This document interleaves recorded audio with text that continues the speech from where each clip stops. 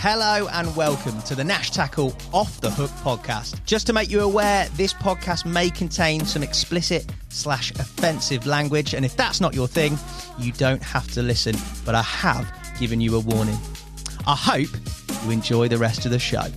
You don't know the half of it, but um, I'm anyway, Yeah, I'm on. here, mate. I'm skating on the thinnest ice known to man. Like He said, and um, they put a poison in the tank that just instantly kills them. He went, and we've run out of it, so we cut their heads off with shovels. suddenly, bang! The whole boat exploded. Take your sort of eight inch long piranha and imagine that at four, five, maybe six feet. I said, I've revived your dead fish.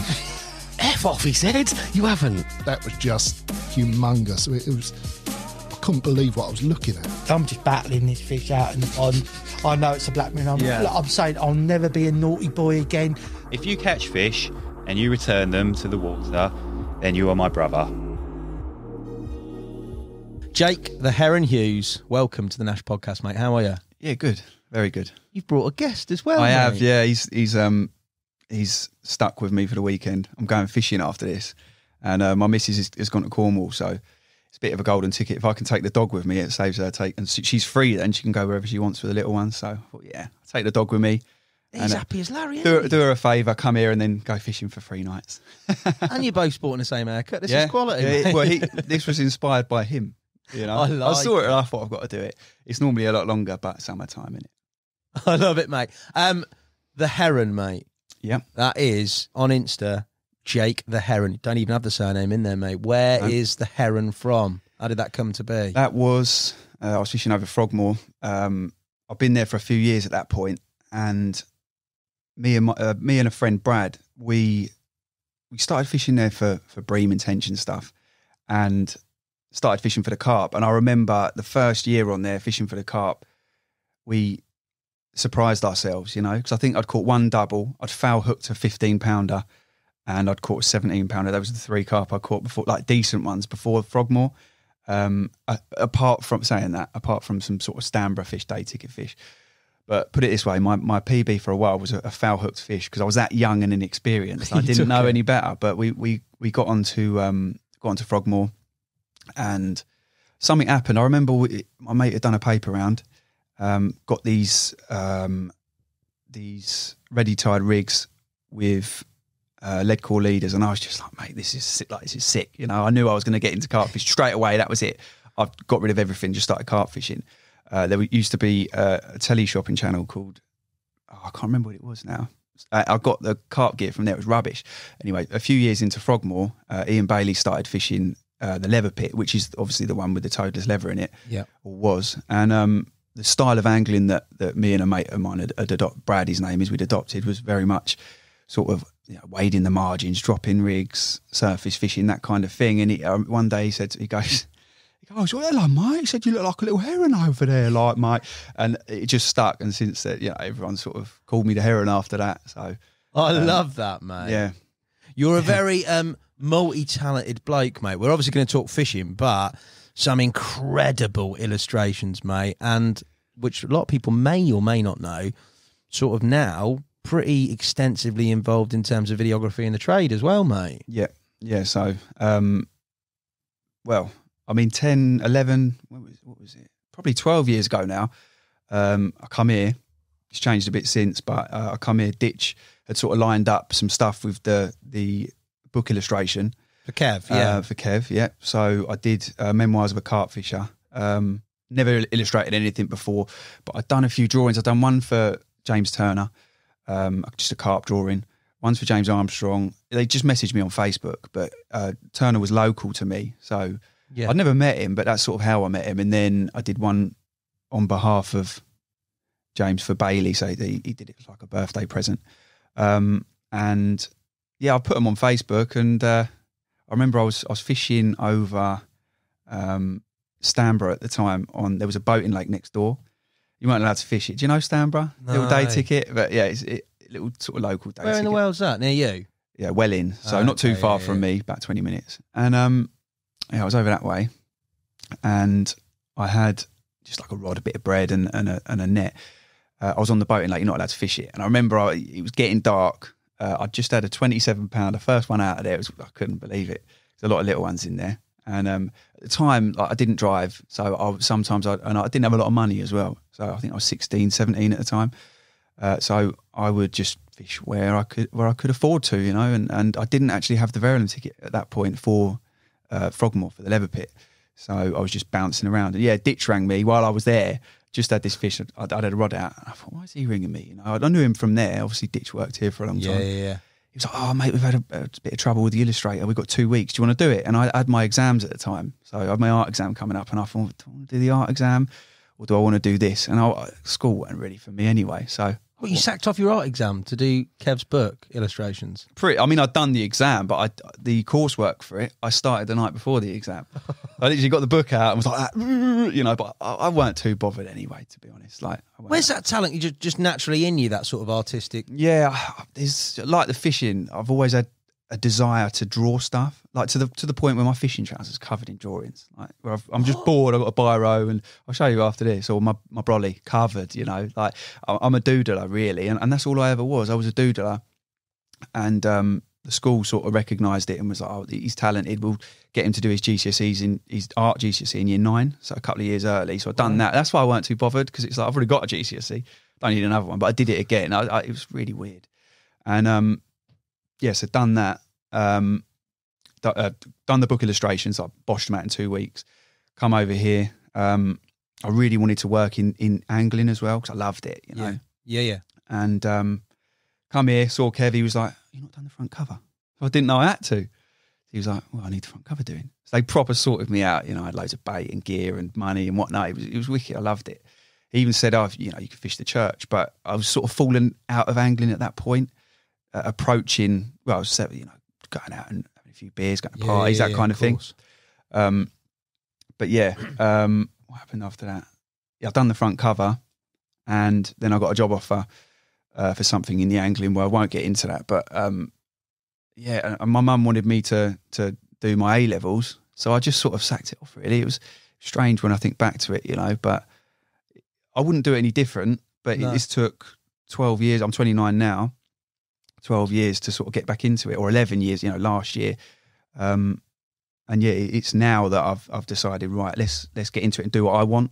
You know, I've just spent 12 years cutting hair. All them exams didn't do anything for me, and I, I sort of knew they wouldn't anyway. Like, but yeah, here we are now. You know, getting right into the to the um well the videography stuff. So Mate, you're obviously clearly quite sort of I don't know practical but talented in terms of that that and, uh, and people have referenced it before. Ollie's talked about it that sort of eye, but also the actual creativity because you've got drawing and illustrating, which seems. I mean, you say doodling, but mate, if I doodled on my brolly, trust me, you wouldn't be identify it as a carp or whatever it's trying to be, mate. I'm dreadful. So there's obviously an inherent talent there, and then that sort of same creative process you've now transferred into sort of videography um, and you're doing work at the moment with Sticky, ain't you? Yep.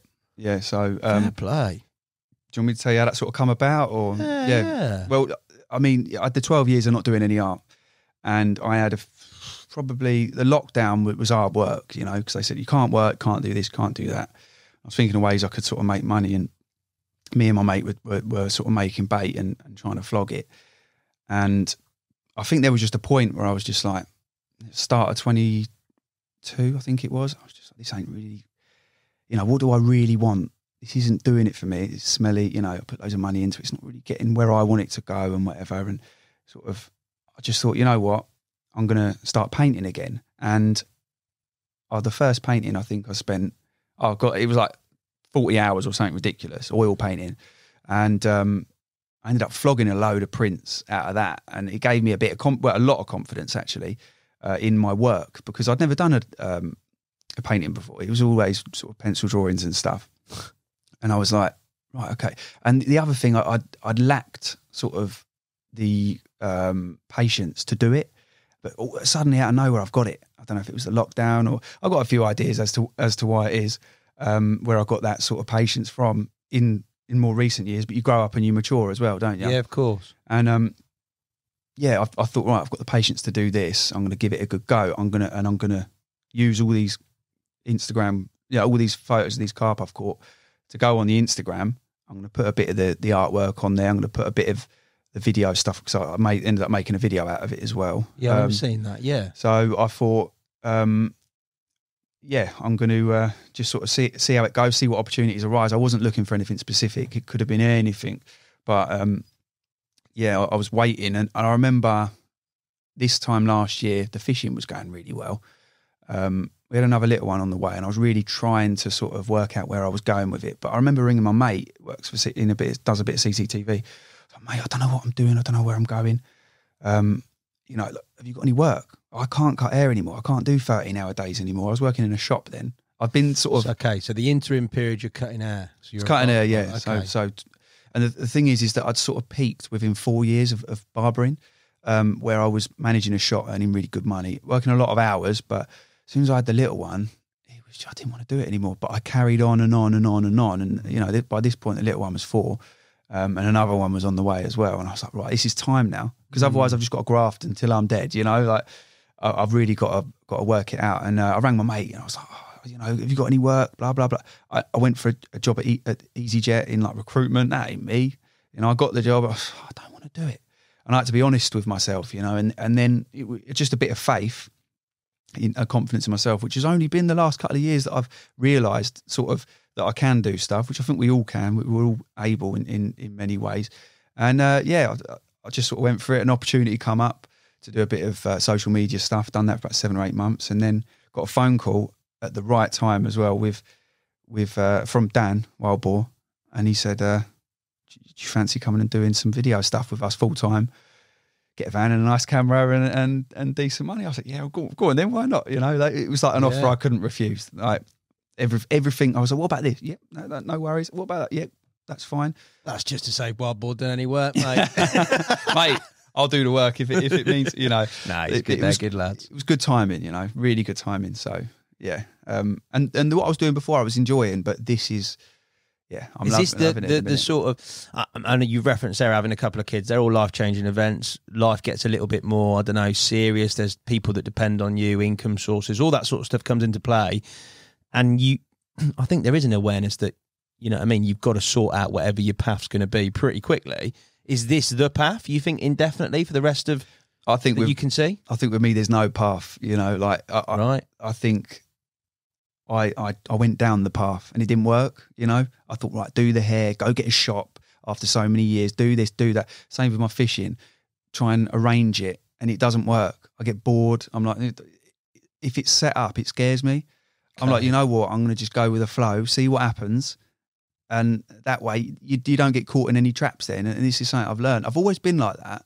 Have you? But there's been some things like work, for example, where I haven't, and because you're we're born into this sort of system where you think that you have to do this, this, this, this, and this. yeah. Whereas the reality is you can do whatever the hell you want. And I wish I knew that. Well, I don't wish I knew that years ago, but I'm glad I know it now. Put it that way, because it's a it can be a miserable path, you know. Whereas this is like I'm sort of going with the wind with it. And now my missus, she's I mean we've always got on so well, but she's known that I haven't enjoyed cutting hair and stuff for a Yeah. long time Yeah, yeah. but it's been it's, it's been two years really or two and a half years of, of just going with the flow and trusting it even when it, it looks like there's nothing to trust and it's just it's gone spot on you know there's loads of different things going on the art stuff all sorts that So you're still doing the painting and, and all that. yeah stuff? yeah yeah i'm still doing it yeah i've got one the size of this door here that i'm doing at the minute so northern lights and it's all a bit weird and psychedelic so But you do the fishing stuff as well. I mean, I've seen a few late Yeah, maps. yeah, so- I've seen yeah. some mega work. So I'm Like, doing doing uh, Elstow map at the minute. Um, I've done I've done like maps and stuff that I can't show because they're for sort of non-publicity Yeah. lakes and stuff like of that. course. Um, but it gives you opportunities to fish places you never thought you would, and money, and you know it's great. Like I'm- I'm glad that, and, and that's the thing I like is that you, all these little projects, and I've got the time to do it as well because at the minute I'm sort of doing three days with them filming whatever on the bank, and then a little little bits and bobs here and there, a bit of editing and stuff. But, but I basically get two days to sort of mess around and do do what I want to do as well. So it's great, you know. Mate, it sounds like you. Yeah, you've done really well. But you've got that sort of. I don't know. That sort of personality and that that sort of. It looks like you have a bit of faith in that everything will be sound and. As long as you're happy, you're happy, and the happiness is the important factor. If people want to, can people commission drawings? Can you get that done from you, or what? I don't know. Um, Is that a thing? Yeah, yeah, I mean, you know, Or what I say is just ask.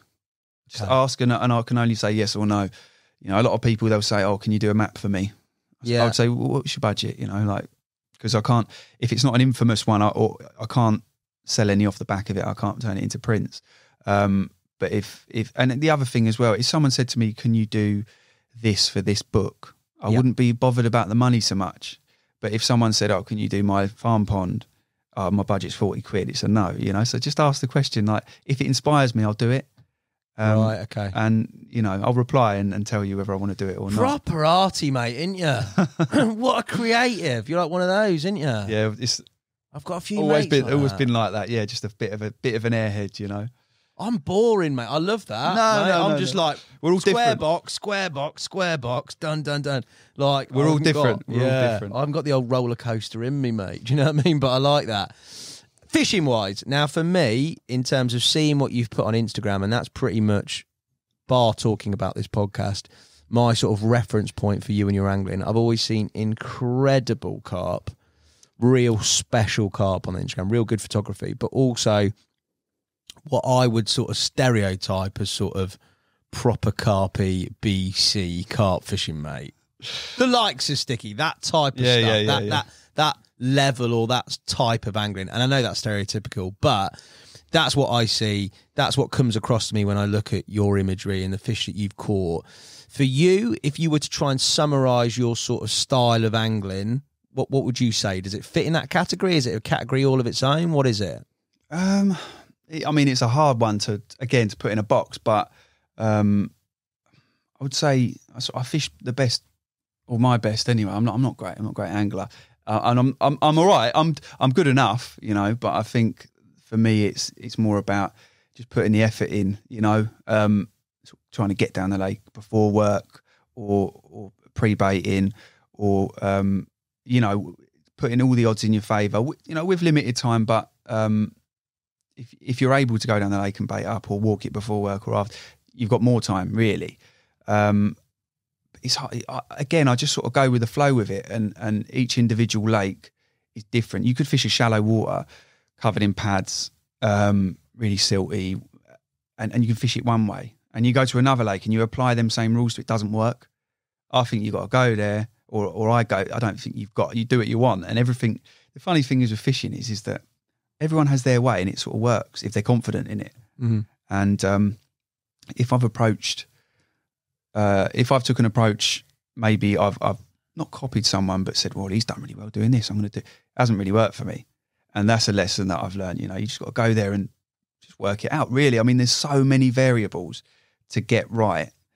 Um, that you, you again you just can't apply one thing for one lake. But I love my edge fishing. That's I love stalking. I love I love it all really. I like you know at the minute a lot of my fishing is is longer range, quite quite savage. Lots of islands, lots of crayfish, um, and and it's it's almost like an industrial approach, like big hooks, Yeah. sixty pound lead, that kind of thing. Uh, and I love that sort of delicate, trimmed you know trimmed down sort of one out the bag, right in the edge. You know that kind of thing. Uh, I love I love it all. I don't really know what my approach is to be honest, but um, What's your, what would you say your strongest? Like, if, if you were to play to your absolute strengths in terms of your carp fishing, what what are the what are the elements? Is it distant casting? Is it edge fishing? Is it what is it? none of it. Don't Um, give me that. I've seen the fish on your Insta, I'd, mate. I'd say I'd say is it's working out what you've got to do. So like, I'm not the best at putting a, a, a rig on a dinner plate, but I'll make sure it gets on the dinner plate if it takes me 200 casts. I'm not the best at range fishing, but I'll just carry, I'll just try. You know, like uh, if I've got to do it, I'll do it, and it's working out what you have to do because you. If I go to my lake now and go, well, I'm really good at edge fishing, I'm going to do that. You'll only fish little ponds forever, or you'll blank on on you know. I know they get in the edge everywhere, but I think it's just getting there and going right. I got to do this and doing it because you could be the best at one thing, but if that doesn't, if if them rules don't apply on that lake, it's not going to work. You know. But if I had to, yeah, edge fishing or finding them is really what, um, and and that's like subtle.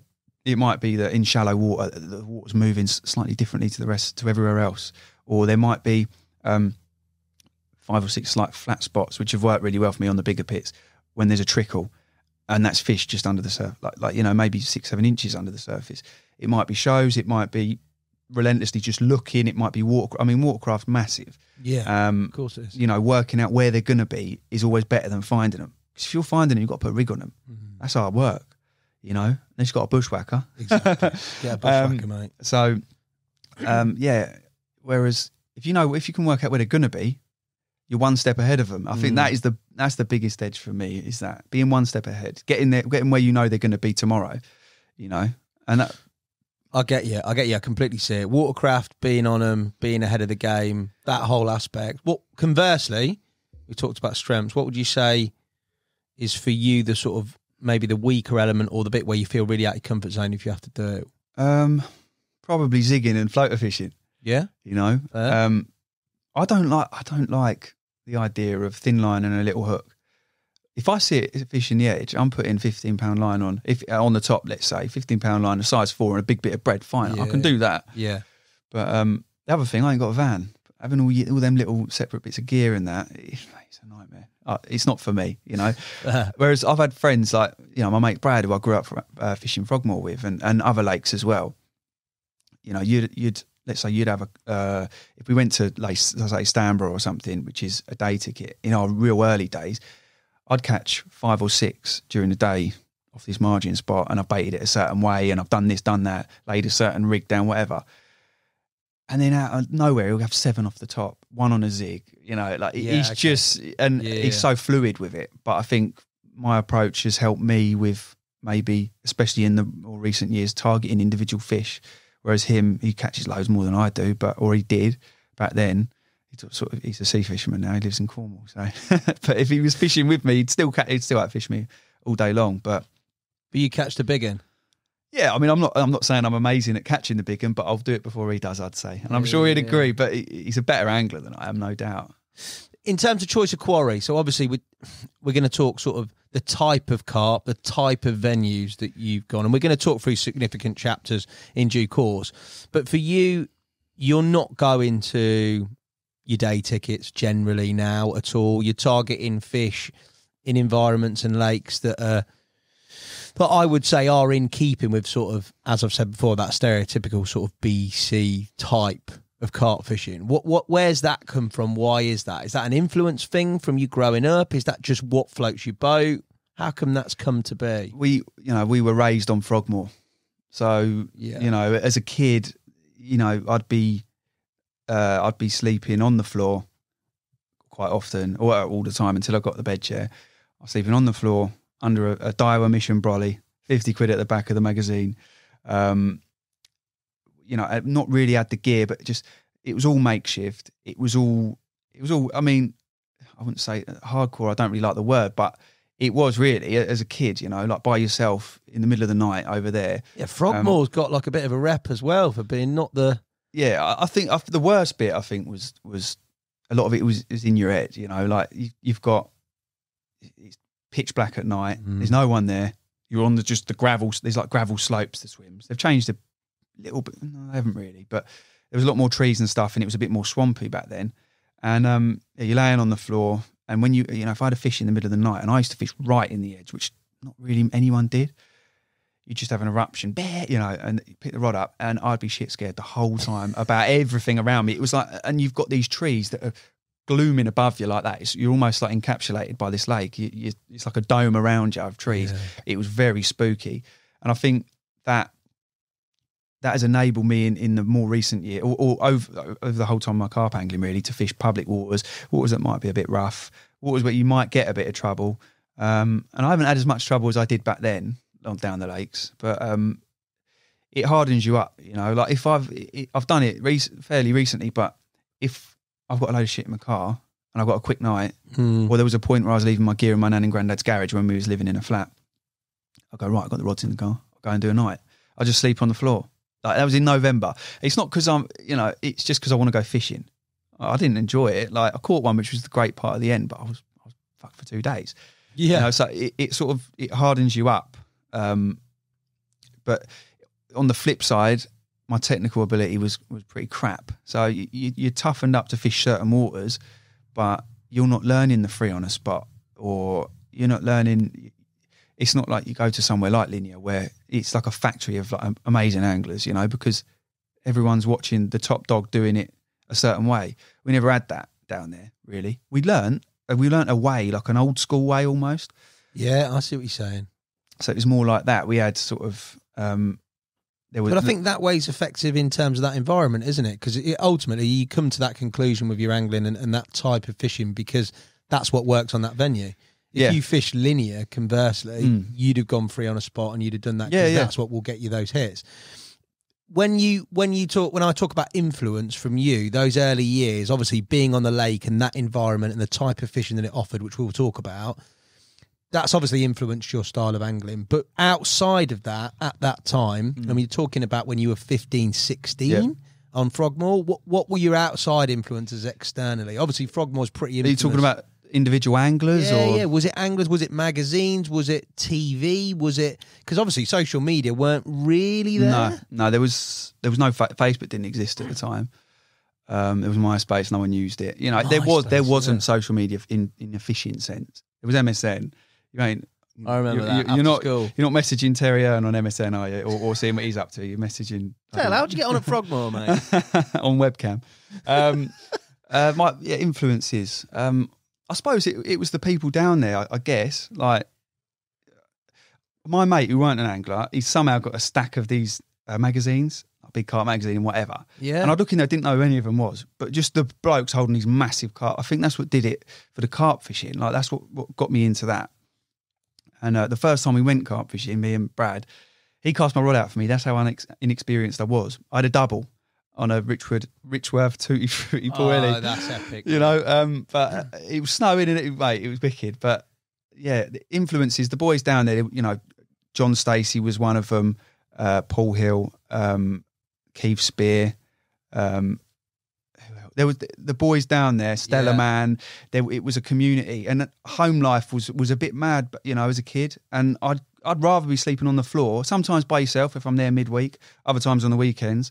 I'd rather be there with them lot. It was a community, you know, like we'd all meet up around the bench and have a few beers, or you, they'd make you a fry up in the morning, or I could walk around and ponce a bit of party off of him, some pop ups off of him. I remember going down there and poncing five pop ups off someone, and me and Brad, we, you know, smashing rigs long, and, and, and we battered it. You know, we had loads.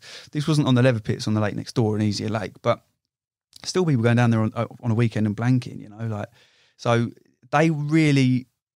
It was there was a lot of camaraderie there. It Yeah. it was just yeah, it was a different time. It was a completely different time. Um, and like if the World Cup was on, they'd get a TV down on on a generator.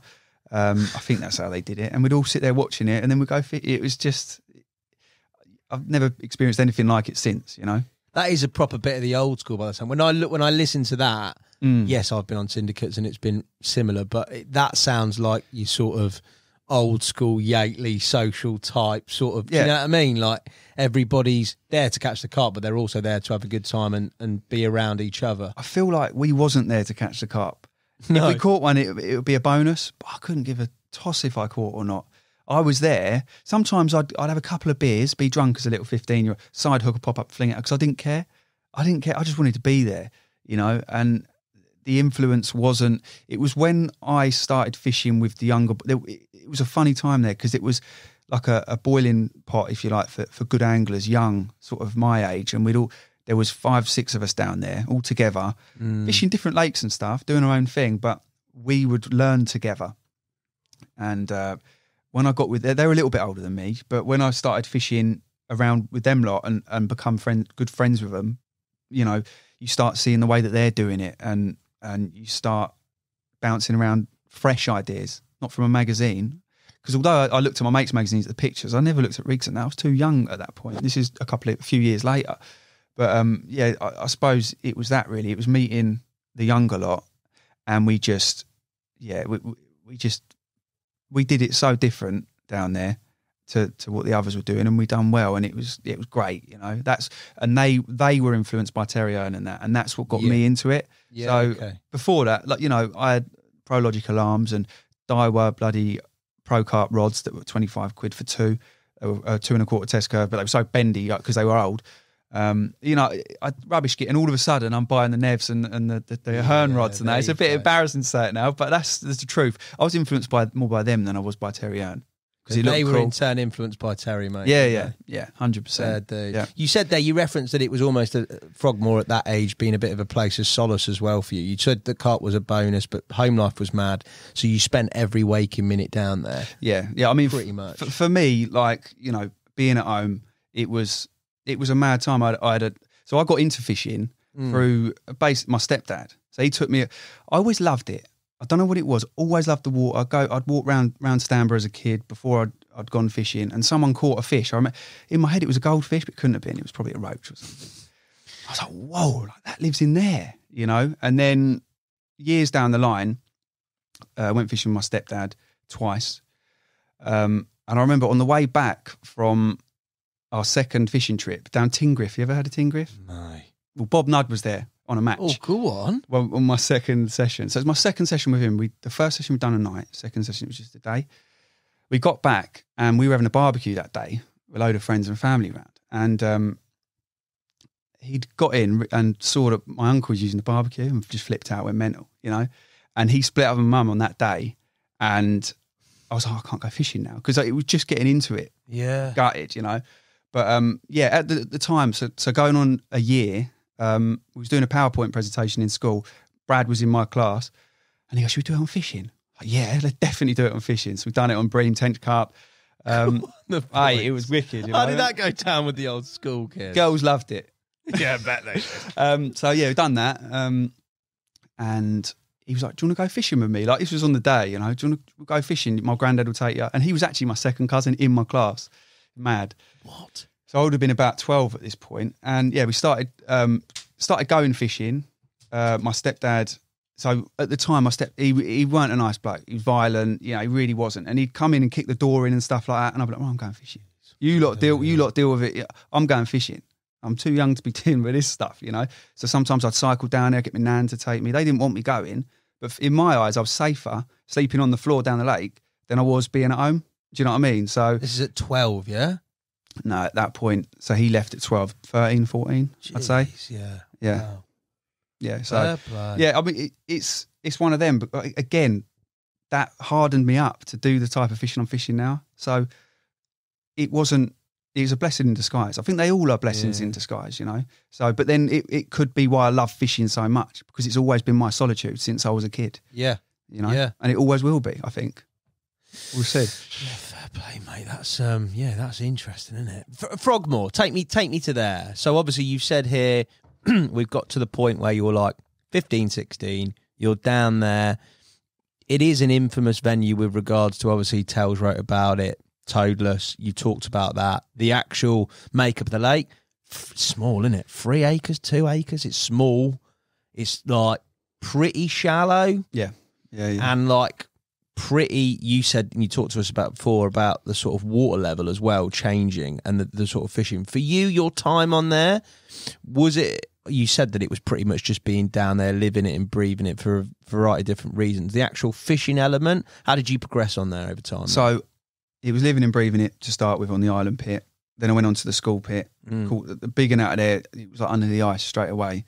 Um, so under I'd, the ice yeah, so I'd fish the island pit, and on the day sessions I'd fish hard. If I was doing the night, I was there to party. You know, like. Um, but it was just reactive fishing, tight to islands, loads of crays in there, like proper gravel pit. There was it was like a bit of an egg box as well. I mean, there was like 15 islands on there, maybe more. So it was probably more than that actually.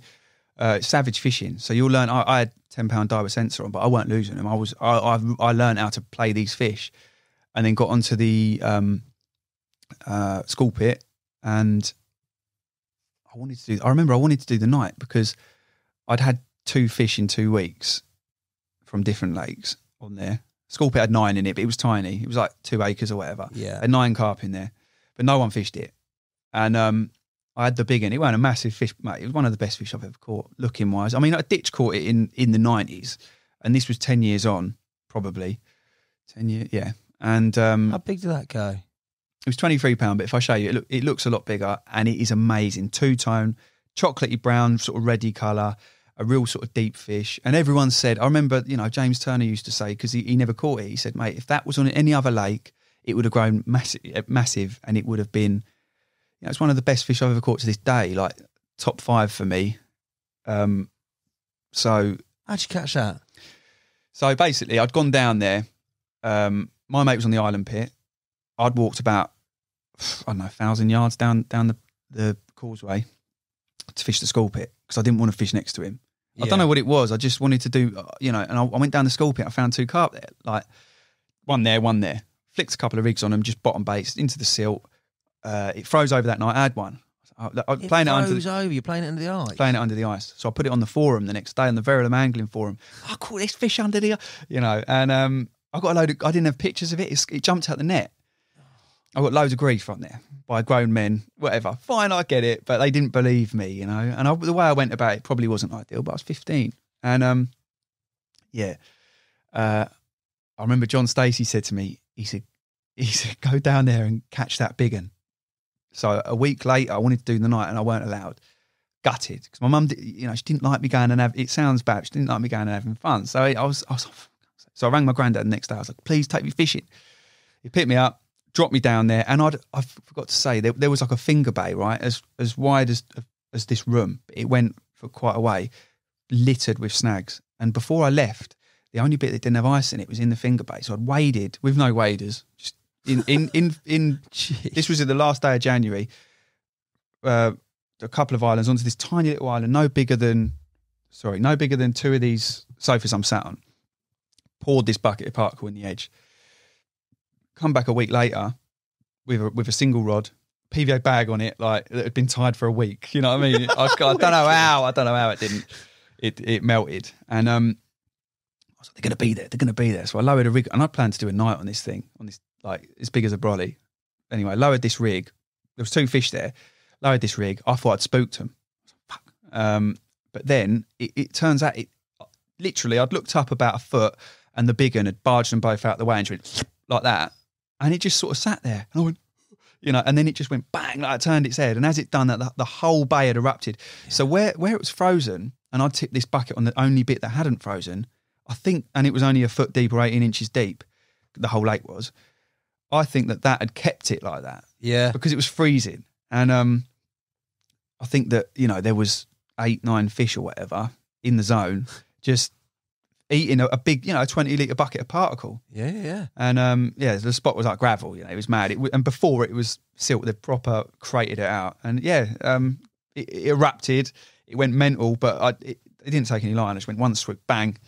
And um, where the fish had escaped my net the week before, because I, I didn't have, I didn't put a stake in the net like open. I, I closed the arms, rolled it up, and put a bank stick in. I didn't know. I was I was young and course you inexperienced. Yeah, yeah. Anyway, caught that, and I was like, right, I'm going on the leather pit now. That's the next thing to do. You know, it's, it's the one. I wasn't really there for the leather. Um, I was, but I didn't have that mindset to go and catch that leather. Mm. I was there. To, I was just fishing. Um, but yeah, caught a couple really quickly, like the big common in there, and then another common in two consecutive trips, and um, just slinging chods like in the weed. So it's mare's tail weed to the surface, getting up trees, finding them, and just plopping rigs out, um, chod rigs out, um, and just seeing the pop up uh, sort of nearby. So you're seeing these shadows in the weed, and uh, yeah, my first session that was down the Summer Bay. I'd had one, the big common, still alive now, proper old one. And then a week later, I had another one. Like, these are the best commons, like you know, they're amazing looking things, like so old, and they actually come from the school pit years and years before, and they were put in there. But yeah. Um, God knows why, but um, yeah, yeah, it just sort of on there. It was a lot of opportunist fishing. I think I, caught them all pretty much on on naked chods, um, and I'm trying to think the yeah. There was one capture where I see these two fish in this bay. There was 11 carp in there, three acres, 11 carp. But you got to think right in March, April, May. Every single swim pretty much is taken. So for circuit Yeah. water, you've got Yeah, yeah, you of course. Like you got some of the top boys on there, you know, and I'm just this. And some of them just, I'm sure they just didn't like me on there because I was a young kid. You know, I had no gear. I didn't have a spod rod or a or a marker rod, or I had two fishing rods and net, little bag, no barra. You know what I mean? It, it was, it, and you know, and I'd catch a couple as well. So, was it pretty much a, a set sort of rather than trying to find spots or do whatever, it was just observation then chuck a choddy? Was that pretty much how it, how it was? Oh no! Sometimes I'd be laying rigs down. I mean, Yeah, one, one of the choddies, right? There was these fish were coming into this massive set of pads. You know how big them pads are. You've been Mm. down there, but huge set of pads, and I, I'd, I'd lay in between the pads like that, and I'd just stand there. You know, that's sort of how I got the heron name. Stand there like that, and I'd see these fish come in, and they'd come in, they'd miss it, come in, miss it, come in, miss it. So I'd see a sunken lily. I saw a sunken lily pad, so I plopped it on top of that. So What, had a choddy on top of the pad. blatant choddy on top of a sunken pad, blatant as you like, see it straight away, bang. You know, I mean, I know it sounds noddy, but no one else had done that. So why? How would that carp not see that as danger? You know, because they, it, well, it clearly didn't. No. you know, it, would that have worked for the leather? Maybe, maybe not. Who knows? But it just went bang, jumped out the water. Tom Lorraine was walking past as it as it had jumped out, so he see it and he's like, "Oh, go get the camera." I netted it, and it was another like amazing common. You know, like again, the, the best commons I've caught today, really. Um, so yeah, that you know, Frogmore was very much that. It was opportunist. It was better in the later on in the year because it quietened right down. Like it was just my playground, you know, there all the time. Six weeks holidays, the whole lot. Yeah, I, it was wicked. You referenced earlier, mate, when we talked about it, sort of, um, yeah, some sort of trouble or stuff going on when you were down there, mate. What type of stuff happened? Um, well, on the island pit, I remember there were these there were these boys who used to walk around. They were in their mid to late twenties, and they were from an area local called Cottonmill, pretty rough. And obviously, I was local to it, so I, I knew them and I knew the area and that. And they come up to you, do you get scared here at night, mate? No. Like all this sort of stuff. Oh, do you not get scared about getting robbed? No. Putting on a brave face. Um, and then yeah, one night I I, I uh, like well, I woke up in the morning and half my gear was gone. It's completely gone. And my mate had his bait. They'd come down and these boys had come down and give me some bait a couple of weeks later because I got on quite well with them and I don't think they realised that they robbed me. Right. Um, I mean, they were wrong uns, yeah, yeah. but you've got to get on with people, otherwise they're going to do you. You know what I mean? That's how it felt. So they've come come down a week later, found out it was me, and given me a load of gear that they've obviously nicked from someone else. Yeah. Sorry, mate. We'll get you some fish and chips. Got some plum boilies. It weren't. It was my mate's Icelandic Redwood Caviar carp company. But you know, he, they give me all this bait. I was like, he's going to think I've robbed him now. Yeah. It, it was one of them ones. But um, yeah, so so that that kind of thing. You'd have crackheads at night, and uh, it- it just had a weird feel about it. It was a very strange place. But another one, it was it was very close. Um, Tom Carey, one of the boys down there, he he was the one who bought me my bed chair when I was about fifteen. He saw I was sleeping on the floor. Oh. He was like, "I'll go to Johnson Ross, I'll get your bed chair," and he went and got one.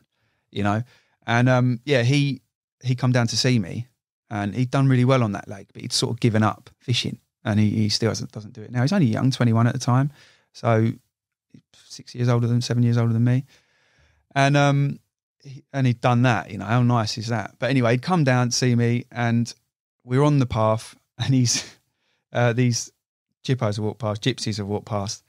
And they said, "Oh, you're doing the night, fella? You're doing the night?" And I was like, uh, "No, not tonight, mate."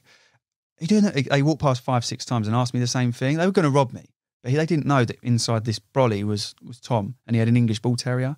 Yes. So the last time they said, "You doing the night?" I said, "Yeah, I am." 'cause it was getting dark and it was raining. He, and he got out and he went, "Yeah, and so am I." And he was going to the gym and that. He was massive, and his dog was like this big English bull terrier.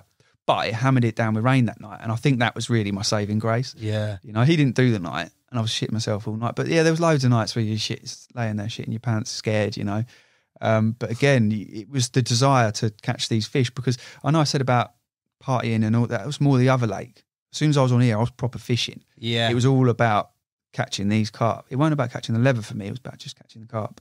See the leather? You get close? Oh yeah, I got close loads of times. Yeah, yeah, loads of times. Just noddy fishing. You know, like I didn't realise what I had to do. And this is the thing: is that do you want bites or do you want to catch the big one?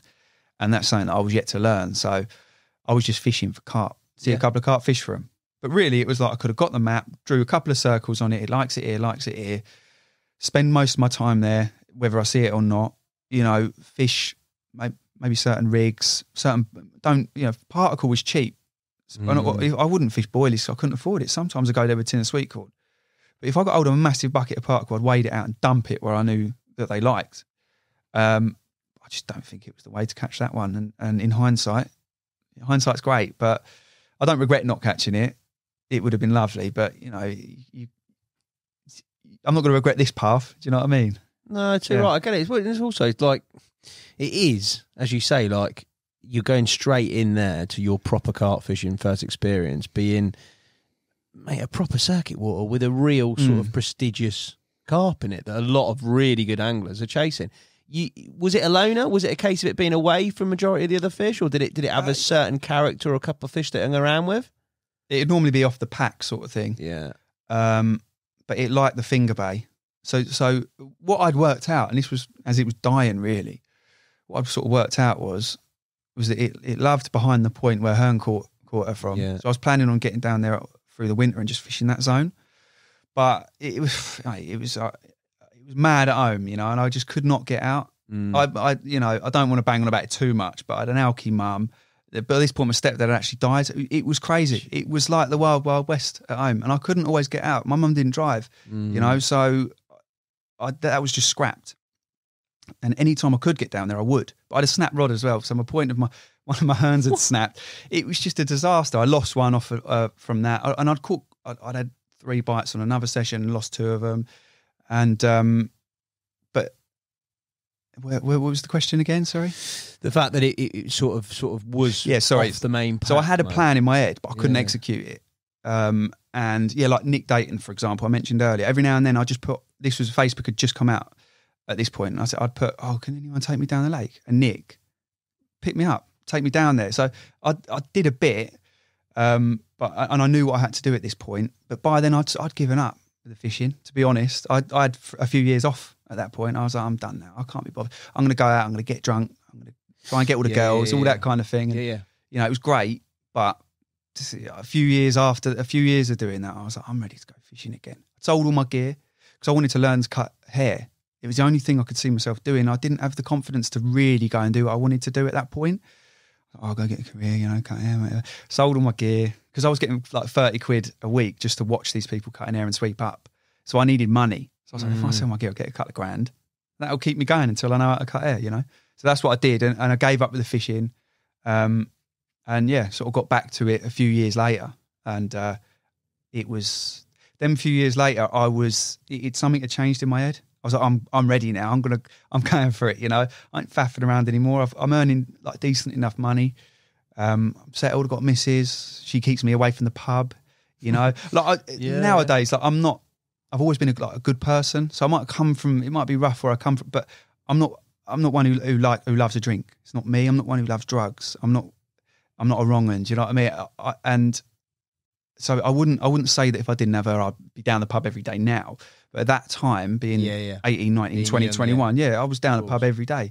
But I got with her. I've been with her nine years now, and, and yeah, and I was like, I'm ready to go fishing now. I don't need to go out. I was trying hard for the girls, trying to get all these girls back then.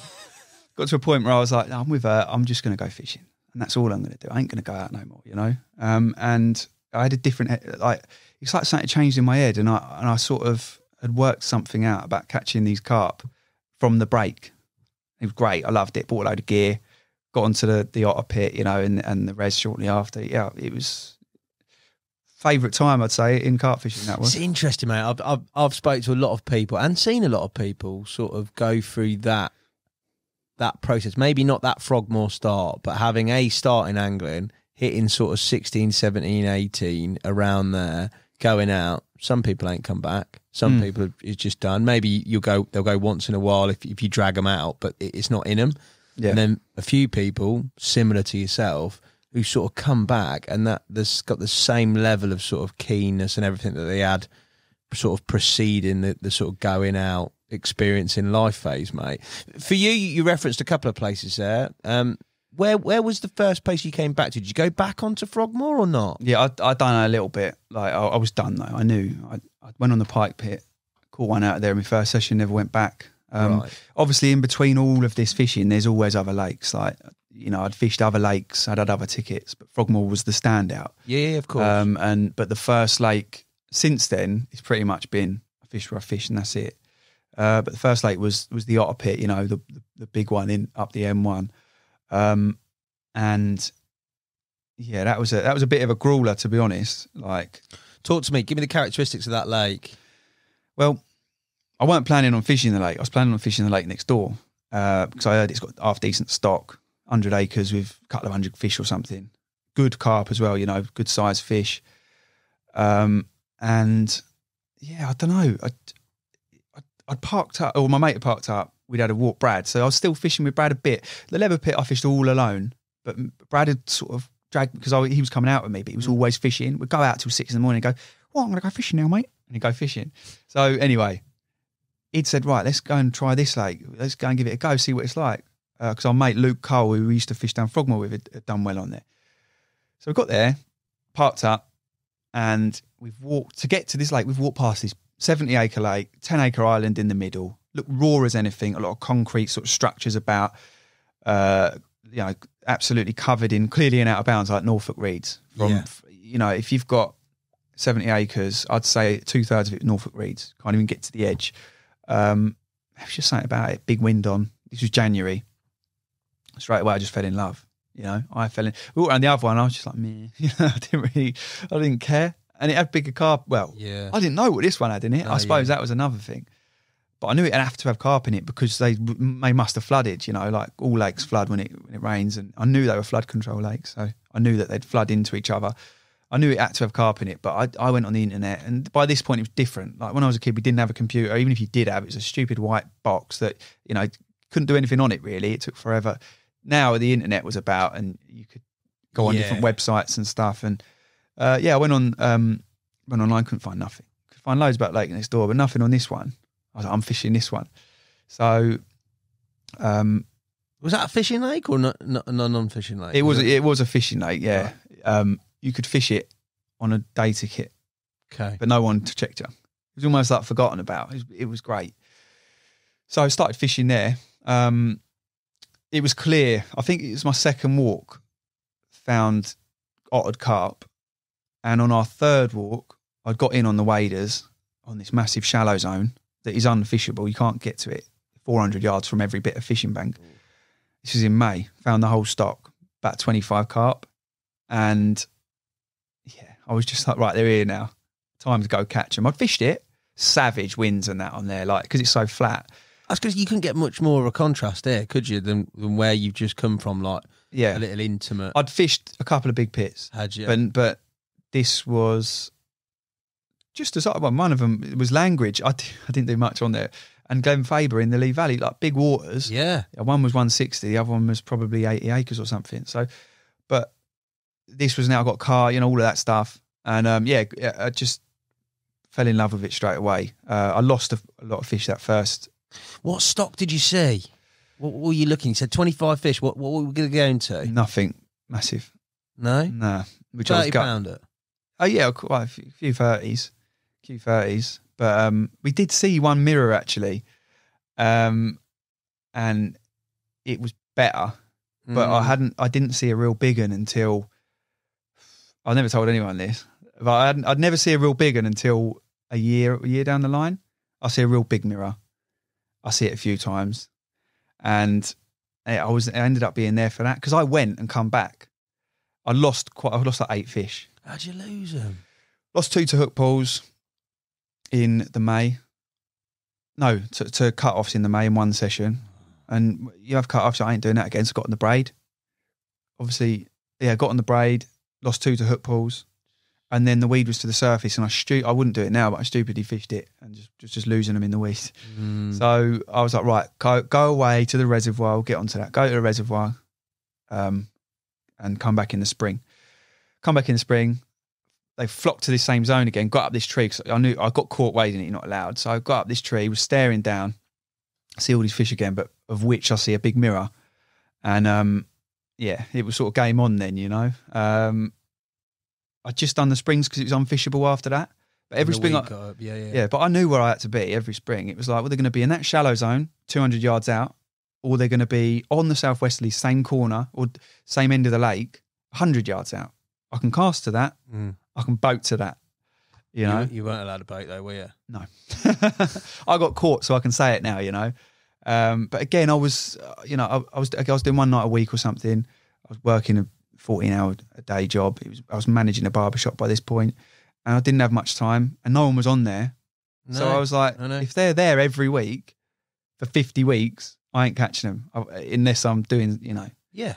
Uh, I wouldn't do it now, but at the time, oh, I'm glad did it. You know. Uh, um, you definitely do it now, mate. no, I don't know. I don't know. I haven't done it for a long time. I just If that was a set of circumstances you were given, I just wouldn't want to fuck up my fishing, you know. I really wouldn't want to do it. But yeah, if I was somewhere where it was no fishing and it wasn't affecting anyone, um, like you know, not a club water, not a this, and it Yeah. wasn't on someone's back garden, then yeah, I would, yeah. But I wouldn't do it on like I'd never do it on a club water. It's enough because it's unfair on everyone else, you know. It's just, and I wouldn't feel right doing it. But this had no one there. this is what I mean. There's absolutely nobody Yeah. on this. So yeah, done that. Started catching a few. Um, mainly there was b- uh, big boulders. There was no gravel. It was big boulders the size of my head. You know, loads of them. So I would fish choddies, tall choddies amongst it, and just blast them out in, on the end of this wind, and you'd have multiple bites. There's only 20, 25 carp in there. Just were friendly free, then. free bites. Yeah, big pit. Don't I ain't seen rigs. A lot of them. Um, and uh, yeah, it, it was the absolute bollock. What I'd do is I, I'd cast the choddies out, run round the back, start flicking a few um, baits out with a throwing stick. Come back, me, I, I can't, I'd hear my rod going. Shit, got to run back round. You know, you never lose them because there was nowhere for them to go. Big pit. You know, the island was the other side of the lake. Um, so yeah, that happened, and and the next spring I'd done it again, but I'd only done one night that next spring, and the next spring, I I'd, I'd had a few by now, Yeah. What Uh, what they gone up to? You had a few a few days. thirty. Okay. Yeah. Um, I'd had more than a few, you know, like I'd had, I think I'd had about, I don't know, 20 bites by then. Obviously, I lost the first however many, and I'd lost a couple in between. Soft mouths, I think. Well, no, no, because I'd landed and they had soft mouths. A lot of them hadn't been caught before. No, of there was no not. black rubbery lips there. They were Yeah. perfect. And um, I've gone, right, I'm going to go next door now. I'm going to go and catch the big one next door. And I was on there first day, 31st of March.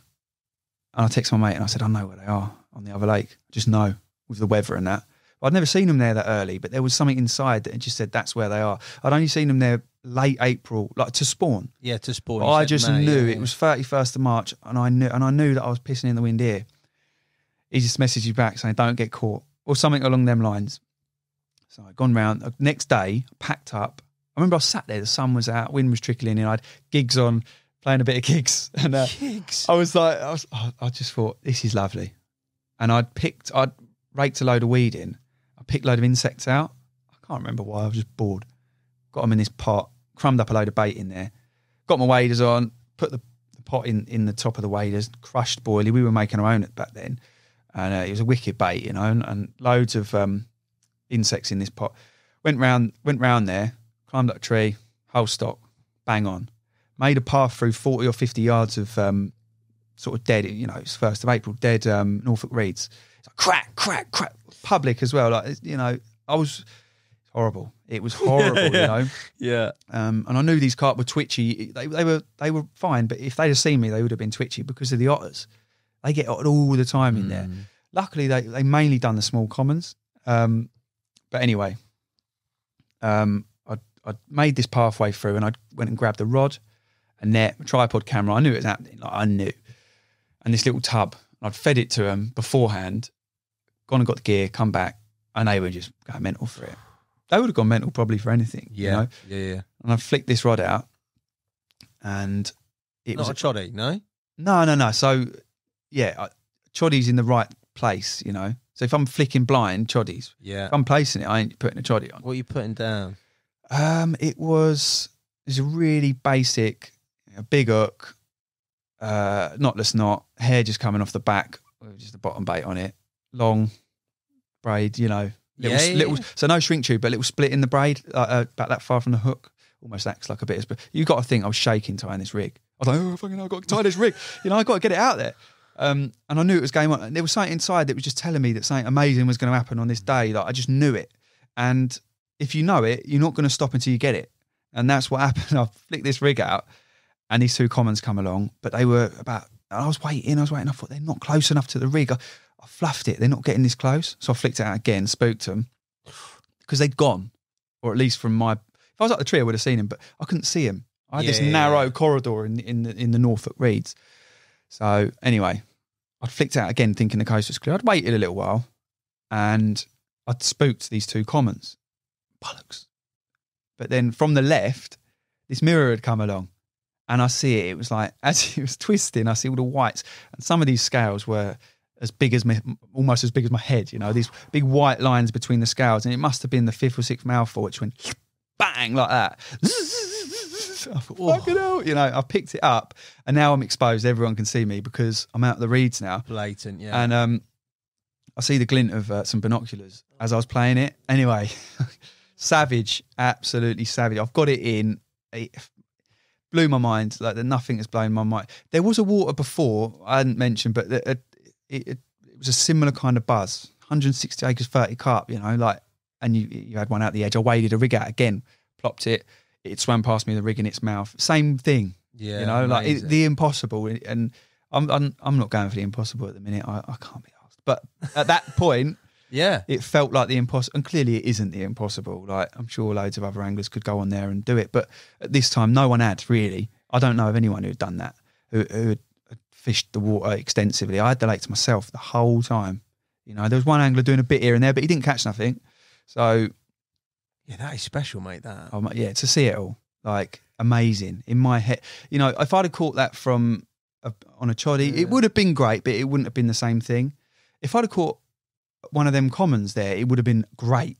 It would have been better than catching that mirror on a choddy out in the pot. It was just to see it come in, take the bait. You know when time it doesn't exist anymore Yeah, yeah, yeah. and Yeah. it's all gone and you aren't human anymore it's like it's uh, i don't mean to sound cringy but you all become this one thing and it is just amazing you can't i can't describe i can't put it into words how good it was it, you know and anyway got it in the net and there was no words for it i was just amazed by it like you- you've seen you know i don't know if you know what carp i'm referencing but I know the carp. on the bank mate it, and i didn't know it i didn't know anyone who caught it No. like uh, and nothing's beat it since but anyway done the self takes done the self takes 10 second timer and i sort of knew that someone was coming round to give me a bollocking but i'd never never happened before never see a bailiff here really apart from one on a bike once and i've been there a fair amount over the few springs and um he's come round i've seen him threw my gear in the bush and just walked You got the Yeah. fish. You let the fish go. i've done the photos put Yeah, it back yeah, but yeah. i knew i knew it, it was clocked it. yeah.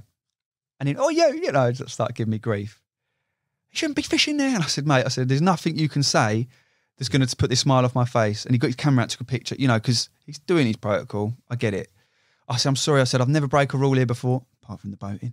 Um, but I've always fished from swims and all that. And they ain't swims anyway. They're just little, little sort of notches. grassy. Yeah, Yeah, yeah. Um, obviously, no one fishes it. There's no swims. I said, I had to do it. I see it and I had to do it.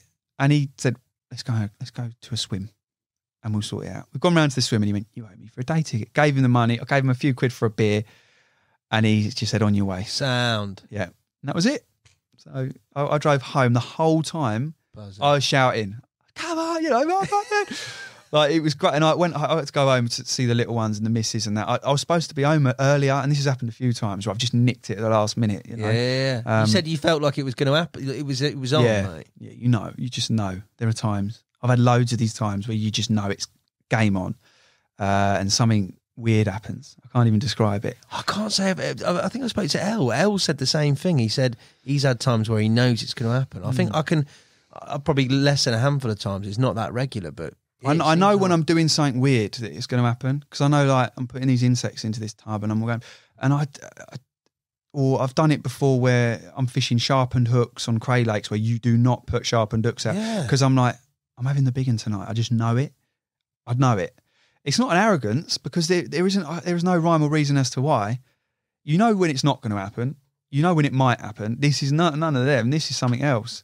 And it's, it's only happened to me five, six, seven times, but take that, mate. yeah, you just know. I'm So- normally like, yeah, it's definitely going to happen. I'll stay the extra night. Nothing. It's normally not when the rigs are out in the pond. It's normally when something just goes bang, and then you just start doing stuff with. And this is when when you said, "What's my style of angling?" earlier, I can't tell you because go with the flow is, is the thing. That's you, isn't it? Yeah, not always, but but yeah, going with the flow, you know. And going with the flow might be putting out 50 kilos of bait and sitting on it for four days because that's what I feel is right at the time, you know. I think I've I've talked about it loads to loads of different people. Sometimes you can, especially if you fish maybe the same venue or maybe a circuit water, you can get I don't know, you can get almost like a bit of a drone mentality where you, you sort of go there with a relative preconceived idea. And I think the key is exactly that. Like having sometimes going there with no idea and fishing it on the merit as to what you see and what's going on. And that can be hard to do when you're invested in a certain spot, a certain area, you've been putting bait in an area, or you've seen something happen, or you've witnessed something. But to go there as pure as that and just go on what you see every time, which is what you should do, yeah, mate, it takes it's something in you, is it, to to sort of do that. A lot of people you see can't do that. They need a fixed sort of I don't know, something to go or start with. But yeah, mate, I think you angle better when you do angle like that. It's always been the case. I think when I think back to some of my sessions, I've done probably not what I thought I'd go there and do initially. Do you know what I mean? And it, and it's worked out worked out well. From there, mate, which seems pretty mega. I'm guessing that you you sort of moved on once once you'd had those sort of that mega mirror, but also those few sort of instances where matey boys clocked you. Yeah. you know the It sort was circles coming in, isn't it? Yeah, definitely. Um, so before that, I'd actually had. So the first year that was 2019, but 2016 was when I first started fishing there, and it and it grabbed me. Mm. And but 2017, I'd done a bit. 2018, I, I didn't really do any fishing. I went on to a big Colne Valley water then, um, which was great. Like, I loved that. Another one of them ones. But so 2016, I'd done summer on the Otter Lake, and then I've gone on to the Res because I'd done. I'd had eight losses, and bear in mind, I ain't caught a carp since 2000 whatever because I'd given up for how many years. Yeah. I'd done some France trips. My uncle, I had an uncle who weren't very well at the time, and he was like, "Mate, come with me to France." We've done three of them trips to like, you know, as a bit. pay late job? yeah, yeah, yeah, yeah, Yeah. yeah. It was it was more for the beers and like just.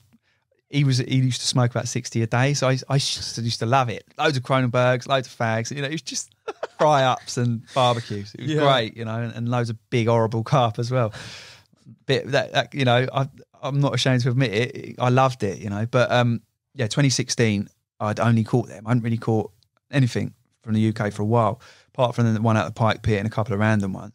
So gone on to the res after all them losses because I, I just needed somewhere else. And this was I've moved in with my missus by now. With my missus' mum. Not with my missus. So yeah. No, she's all right. so um, uh, so I moved in with my missus' mum, and uh, she, to be fair to her, she was sound, but I didn't like living with my own mum or my own family or my nan or whatever, you know. So how am I going to? I like my own company. Mm. My missus luckily knows that, and she she's cool. Uh, but anyone else who doesn't, if you're trying to talk to me when I don't want to talk to anyone, you know, it's not their fault. It's it's something. It's the way I am. Nothing wrong. I like being quiet. I like, and that's why fishing. You know, you can be quiet. You can become a different animal. You know, this humans on our phones, and it's just rubbish in it sometimes. But so anyway, reservoir time. I was like, I spoke to a friend. He was like, mate, he's got on a reservoir. Like, I didn't know what was in there, um, but at this point, a couple of anglers had, had fished it and done well. It was always like a five man syndicate. Then a club took hold of it, and I had that club ticket. Gone down there again. One of them waters is just something about it. There's something in the air there. Big res? How big? Sixty-five Okay, so acres. sim- okay, similar Yeah, size. wise. um, really silty. 300, so it's 300 years old, dug dug by um, French prisoners of war during the Napoleon time. Bit of history around there, massive oak trees and that. Lovely. Big down wall, public, uh, near Boreham Wood. So sort of, yeah, sort of, um, yeah, sort of outside of London, Hertfordshire, that kind of border there. Um, Deep, so busy, shallow, weedy. deep and shallow. Okay. Yeah, weedy in places. Um, and I fished a couple of sessions on fish on there. So I just lap, lap, lap, lap, lap till I found them. And um, I blasted choddies at them. he loves a chod, doesn't he? I didn't. I, I quit the chods after this. Stopped. yeah, so I'd, I'd, I'd, I'd, I'd had three sessions on fish where I didn't catch. And I was like, they ain't spooking off the rig. Mm. So it's, they're big pit carp again, you know, and they ain't been nailed a lot. Like, I know Ditch had had them. He caught them at the out of bounds. He, I can say that now because he's in Spain, but um, he caught them right in the out of bounds. And I weren't doing that this time. It was a club, or uh, I've been a part of this club for quite a while, a long, long, long time. Uh, it's the same ticket as as Frogmore. So decided to, yeah, basically decided to fish bottom baits, just straight bottom baits and little traps, five, six boilies, couple of tigers, you know, wading rigs. So I was wading rigs down this long bay where I was finding them. And on my first time of wading it rather than casting, I'd seen, because casting in a bay is a nightmare. Little shallow bay, you could be casting into surface weed or whatever. Yeah, exactly. So I waded all the way down this this bay, and it was hairy. Like the silt was that deep that you'd have to go fast, otherwise you'd sink, just sink, sink, sink. You know. And uh, anyway, I'm wading down, found some fish, and I there was loads of crated areas, but something in my head was like, don't put them in them, put them on the bit that hadn't been crated yet. because they've obviously they've, they've harvested this. They've done that. This was yeah. the, this was the autumn, and waded back to the to the spot.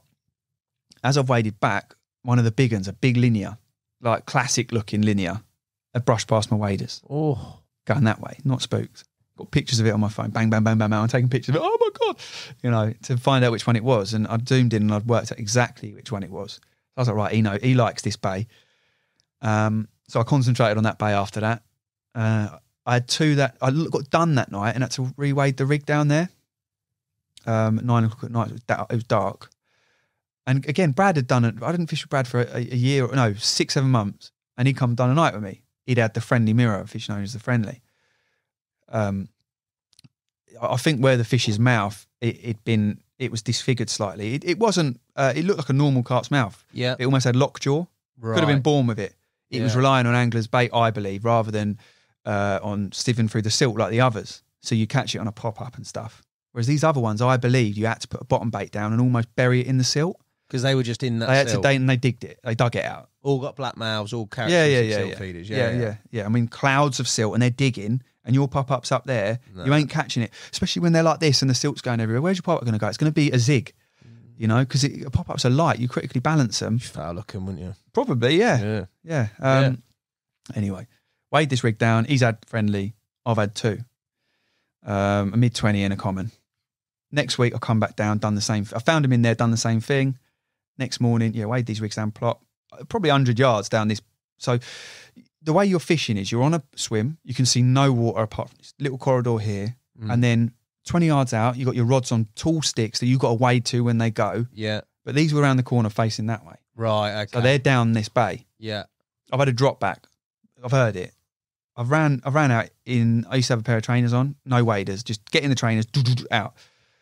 Uh, anyway, I picked the rod up, got all the slacks that swam out the bay, and yeah, mate, mad battle. Um, and uh, I've just seen long Lin, and it was the one that I see the week before brushed past me, like. And after that, I just felt like I smugly felt like I've cracked this. Little traps on the fish. That's it, you know. And um, after that, they'd sort of moved off. Yeah. But so I, I, I kept looking at his bay, couldn't find him. But I'd lap, lap, lap, and I kept seeing him in the car park bay, 170 yards out. Tried wading it, I couldn't wade it. It was too much. Like I kept sinking, Yeah. Yeah. The silt. and uh, I thought, right, okay, time to go to Millets, get a dinghy, 15 squid, uh, spray it up, you know, and go on, um, yeah. So I ended up dinghying out 170 yards, and I just go out till I've. There was this Pontonagon, is it? This sort of lily. I can't say the word. It's like these like oval lilies. Get a lot of them around here in the Essex Right. waters. But anyway, I've, gone to the end of this where I've been seeing them from the out of bounds. It's a big like public water, so there was people fed birds and stuff there. Sorry, I don't think that's why they were there though, because they weren't that close in. Anyway, lowered lowered a rig on the boat. One, two, three, back to the bank. Broad daylight, and uh, yeah, next morning I'd had two fish. No, I'd had- had one. Week later, done the same. Had two. Week after that, done the same thing again, and you know, I had some really nice ones, but um, done the same thing again. I'd met. I'd been on a night out. It was James Turner's thirtieth. It Yeah, ended yeah. up a bit hairy. It was just everyone wanted to kill each other for some weird reason. I was only twenty one at the time, or whatever. and um, I can't imagine JT wanting to kill someone. no, he it weren't him. It's quite level It weren't him. It weren't him. And uh, hopefully everyone's matured by now. But yeah, it was just one of them nights. And I remember I was, well, I was hungover and whatever. And the week before, I'd been to a a barbecue and I was hungover. And I'd fished shit and I'd end up fishing. So there was a gap where I blanked in between going to a inlet where it had gushed in. Right. I thought they got to like it there, but I was really I was being lazy. I didn't want to pump the boat up. Yeah.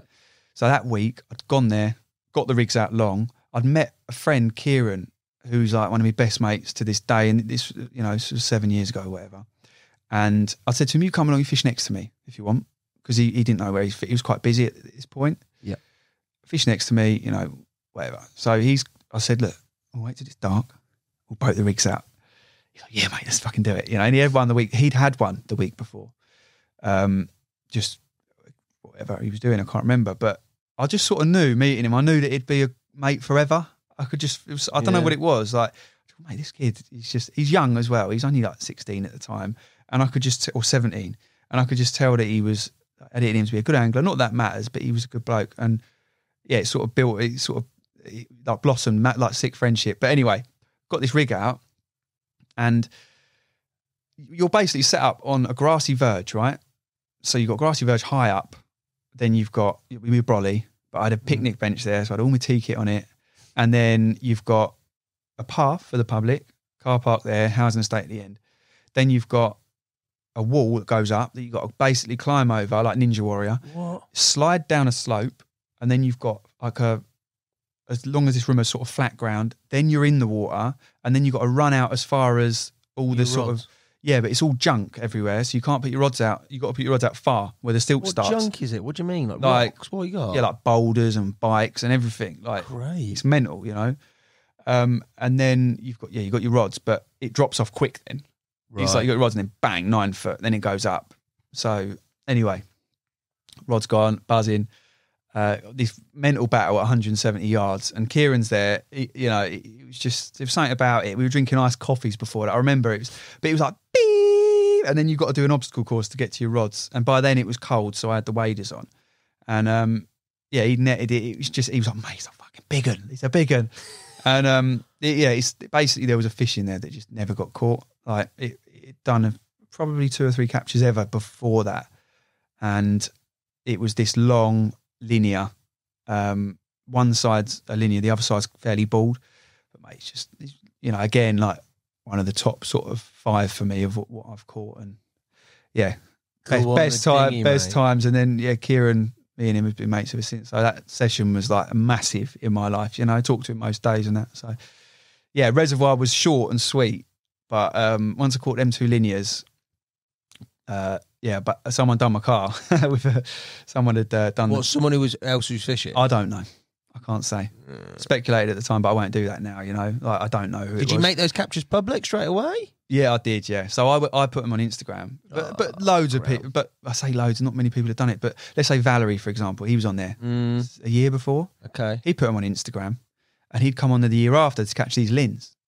So, well, I believe I believe that was they were the ones the ones to have. You To know, have, yeah, so yeah, um, so he'd put them on Instagram and come back, but he he got a bit of grief as well. I remember people saying to me that he was soaping swims and that, but the reality was, mate, Luke's wicked angler. Yeah, he's a Terminator. Yeah, Yeah, he he caught loads more than I did. He just got unlucky with the two lins, but he caught he caught two unbelievable ones.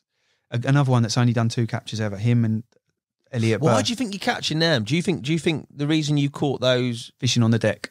Yeah, hundred percent, and the dinghy. Dinghy helps. Yeah, yeah, yeah. The dinghy really helped. But if I'd done a year on there rather than six weeks, Yeah, I would have fished on. I would have found them in the edge, and I would have fished on the deck, and I probably would have caught them anyway. I think pop ups. not the one in that Not always. No, no, no. I think you know if you can be confident as to what kind of silt you're on, you can fish bottom baits in them. Stilt is the best place to fish a bottom bait because if you're fishing a bottom bait on gravel, you can, especially on a hump with proper chunks of gravel, Mm, you can dink the point. Horrible. Yeah, Yeah. you coming up, dog. Um, whereas if you're fishing, um, if you're fishing in silt, what's going to do your point? If it's just silt, nothing.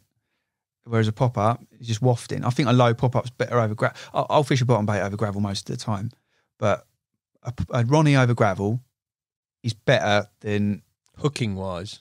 hooking wise Yeah, yeah, yeah, than a. Ronnie over. And I think Ronnie's with or, or a low pop up, sorry, over little bits of bait on Yeah. like a, a gravelly sort of is fine. Maybe not on a hump or a bar on top, but but you know when there's a bit of depth to it and it's they're going down, it's fine. It's when they're going up that the pop ups are blatant. I think. I think yeah, I don't yeah. know. You know, Yeah. but um, I've yeah on the school pit I learnt that pop ups stay away and you know on the school pit I fish pop ups. After I caught the big one, I go over now and stalk them every now and then. Put a pop up out and then just go. Nah. Put a bottom bait out, you'd normally get a bite, you know. So yeah, Yeah, it's interesting. I think I've caught my first first sort of run of fish stalking in the edge on a pop up after watching Ollie, and Yeah. I felt wrong putting one out there. yeah, yeah, Blatant spots like you just think nah. yeah. But then he says you you make make a decision. Like they either spook off it and a go, or they they nail it. And He catches loads. Yeah, so- mate. He he catches them. I'm Mm. not, who am I to argue with that? But I've certainly found the that yeah, I'd go with that school of thinking. But then there are situations, and I don't know what the variables are that mean it it, it equates to a pop up day, but that where they just want it. They love it. But yeah, Yeah. mate, that's an incredible bit of angling. You you like to pick some some pretty mad venues, mate, with some pretty mega carping, didn't you? I think I think that's just what was local to me, Yeah. or what was you know. Brad suggested that one, so I went there. My mate suggested that one. I walked around it, fell in love with it, but it, it could have been. It, it wasn't that I was seeking out these places. It just so happened, and I was okay with it because of Frogmore, because of what I learnt there, and because of home as well. You know, like I've I've always been comfortable being uncomfortable and not realised it until you start fishing with others, and they're like, mate. you Fishing with, well, you got a brolly because it's easy to put up and it's cheap, and I've had it for ten years. Got that bed for-" you know. It's just what I Yeah, know. You're not you're not full BC sort of. Um, you don't seem too precious about the overall look or No, no. all that stuff. I'll get rinsed for like white trainers or fishing with Delkims or all that sort of stuff. People rinse me. It's like, mate, I, I honestly doesn't that care. doesn't bother me, you know, like at all. People, my mate used to say to me, "Just get yourself a pair of walking boots, mate. Them white trainers." Well, why does it matter? You know, these I can slip on. Them boots are a nightmare. Like, it doesn't matter what you look like. It just matters if you're having fun, and that's it. You know, as cringy as it sounds. Um, Yeah, yeah. I don't like all that big carp stuff. Like, I don't, I don't hate it, but yeah, I just think again, like so a, a lot of people would look at my setup as maybe more sort of big carp or whatever. Yeah, yeah, yeah. That's just because it's old shit. It's not because I've put, I've purposely done it like that, but you know, yeah, it, yeah, it's more of uh, an, an organic, accidental thing than it is a, a look. Do you know what I mean? Why don't you think you? Because obviously the, these all venues, and you said about locality and it being near, but they're all relatively similar. You you skipped over fishing one place to go and fish the place that we talked about with the unknown stock in the otter pit. Why don't you think you you sort of went down a more conventional path? Because I'm guessing at the time there's a lot of bigger fish and nice fish in a prevalence of sort of day ticket venues and more circuity type waters. Why don't you think you got lured into that? Uh, I think the main thing was 700 quid for a syndicate or 500 quid for a syndicate. Nah.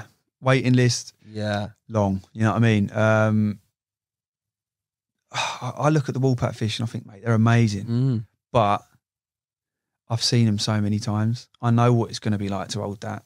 I know. I know where every scale is. You know, and if I went on there, I probably wouldn't do as well as these boys. But, but let's just say I I had the power to do that. I just, I don't think I buzz the same. I've fished waters before. I've caught carp and I've gone. I didn't feel how I thought it would. You know, and then it's like, well, all that graft for this.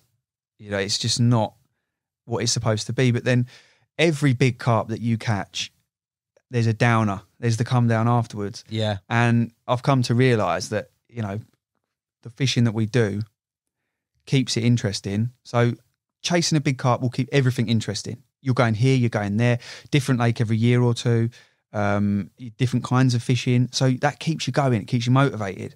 But the big un, catching the big un ain't the one. The you know, it keeps you going, great. But the good thing is the mates that uh, it, it's been said so many times. It sounds cringy, but it's the mates that you get along the way. Mm. It's the weird things that happen. It's the being outside. It's basically the things that you're not chasing are the best things about carp fishing. You know, like I see a barn owl buzzing.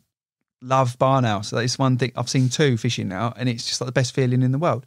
Um, uh, being on the, the teeth of a storm, like it makes you feel. I hate it because it's scary, but afterwards it's all flat calm and that you just feel like alive. You know, you don't get that in a box at home in a bloody square house. Mm. It- you know, we, we we live our lives in boxes, in cars, and in houses, and at work, in offices, and staring at the fucking square thing in your pocket.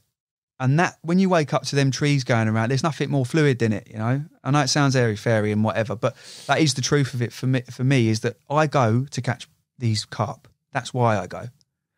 But if I don't catch them, I still get all the other stuff along the way that's far better than catching that carp will ever be. Because when you catch it, you go home, you're looking at the pictures. It's not the same. Oh, that moment is great, Mhm. the adrenaline rush. Mm. It's just a dopamine hit, really, and, and adrenaline. Yeah. You know, and you get a dopamine hit on your phone. You get it anywhere. The big carp is not what it is about. It is about everything else. And it could be, it, it- could be the barbecue with your mate. It could be the the big pit. It could be the watching this carp take your hook. But it- all of that stuff is what it's really about.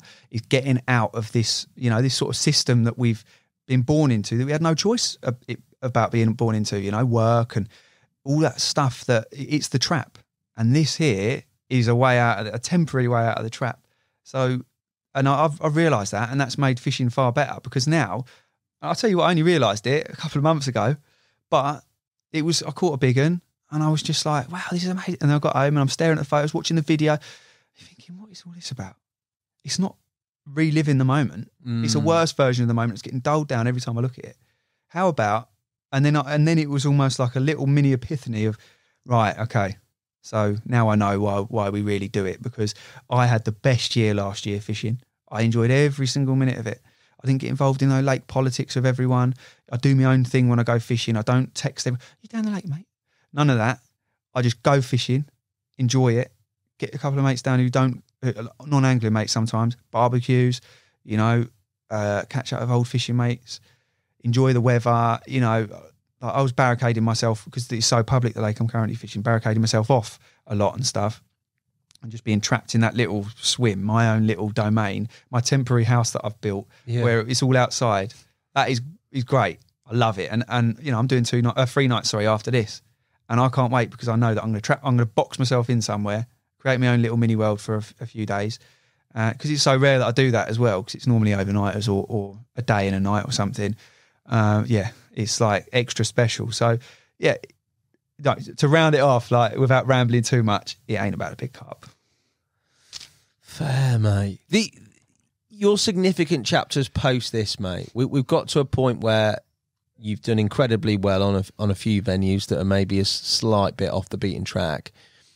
You're angling from that point. Where where where's the next significant chapter? I would say it was going back to the sort of Frogmore style of angling again. You know, um, crayfish. Crayfish weren't actually in the leather pit, but they were in- the other other lake, and they were Yeah. mad. Crayfish gravel pit, small, intimate, clear, weedy, all that sort of stuff. So, and a club lake as well, busy. So, I'd struggled that year. I'd gone on to the lake next door. I just weren't feeling it. I'd had a couple, weren't feeling it. Gone here and there, weren't feeling it. Got another water in the Lea Valley, weren't feeling that. So I'd I'd done a bit of bouncing around, and the autumn had come around, and I, I'd caught that mirror, but that was about it. And um, I had a ticket. No, I bought a ticket. Met a bloke in the pub for this consortium uh, known as Slipe Lane. Yeah, I'm not gonna. It's not gonna blow the head off it because it's blown off already. It was Yeah. blown off when I fished it. Yeah. I've had a few messages since because I've done this hypocrisy video. It was based around a bit of that. Yeah. And um, yeah, basically they they had um messaged me afterwards and been like, "Oh, you've blown it up." It's like, mate, you can never get a swim here. You know what I mean? It is what it Yeah, is. it's There's, there's four thousand members who can fish this place. Yeah. You know, it's a consortium. There's there's probably more. There's ten clubs.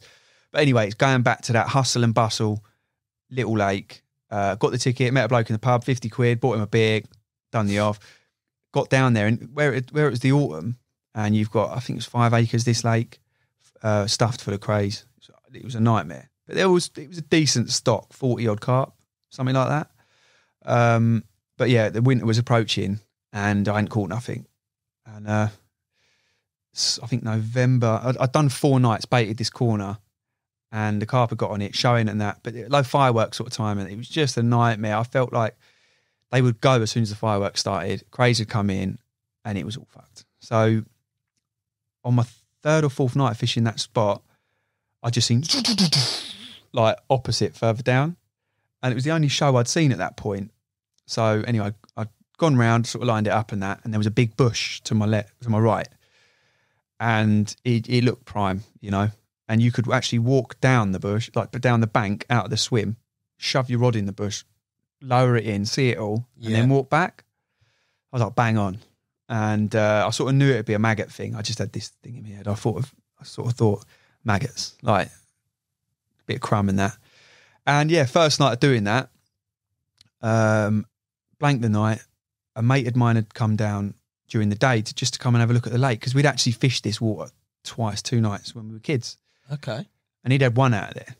Um, he'd done more time on it 'cause I think he'd done a summer or something with his mate, and then he'd gone on and and fished anyway.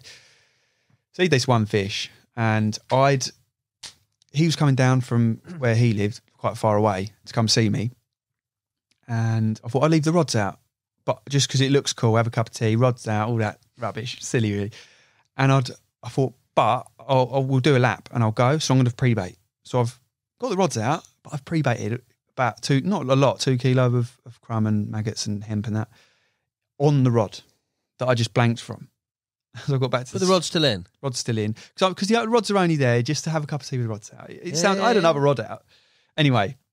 as I've as I've said, as I've got back, as this fish has waddled out, and it was a, a real scaly, mad looking mirror.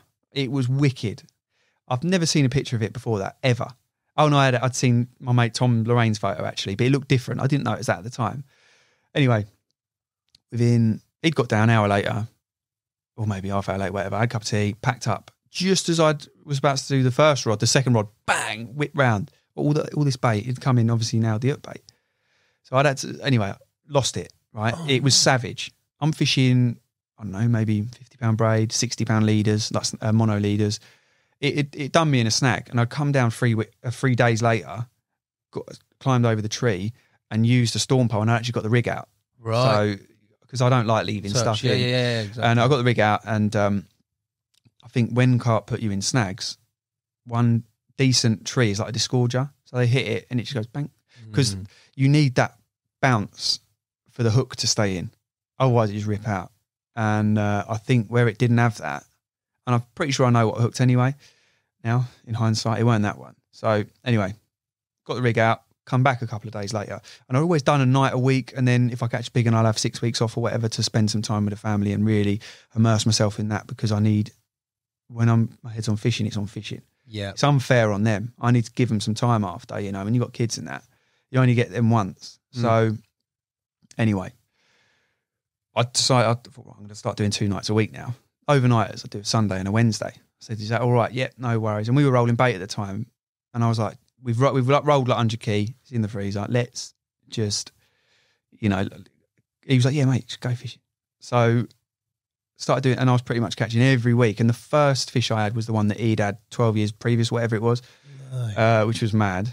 And then the second one I'd had was that mirror, the mad looking one. It's got like a almost like a Batman sort of head tail on it and like huge scales.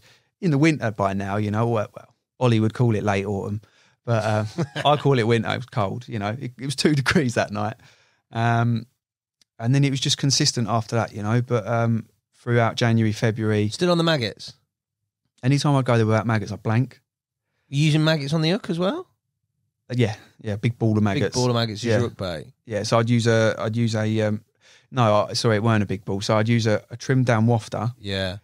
really small, and then I would use, and I was, because I was confident I was catching, I never wrapped it with grey stuff or anything. I was going to say, what about the crays? I just thought the carpery, I'm pre-baiting. I'm going, I was going there every day to bait up, every single day, no matter what. with crumb and, and maggot. Yeah, it was expensive. Some days I put two handfuls in. Yeah. Okay. But um, anyway, it, it was one of them. Like a mate, he was fishing there at the time, banked sixty nights. Jesus. You know, it was tricky. It weren't rock hard. It was tricky. Well, was it tricky because of the crays or tricky because Cra- of this?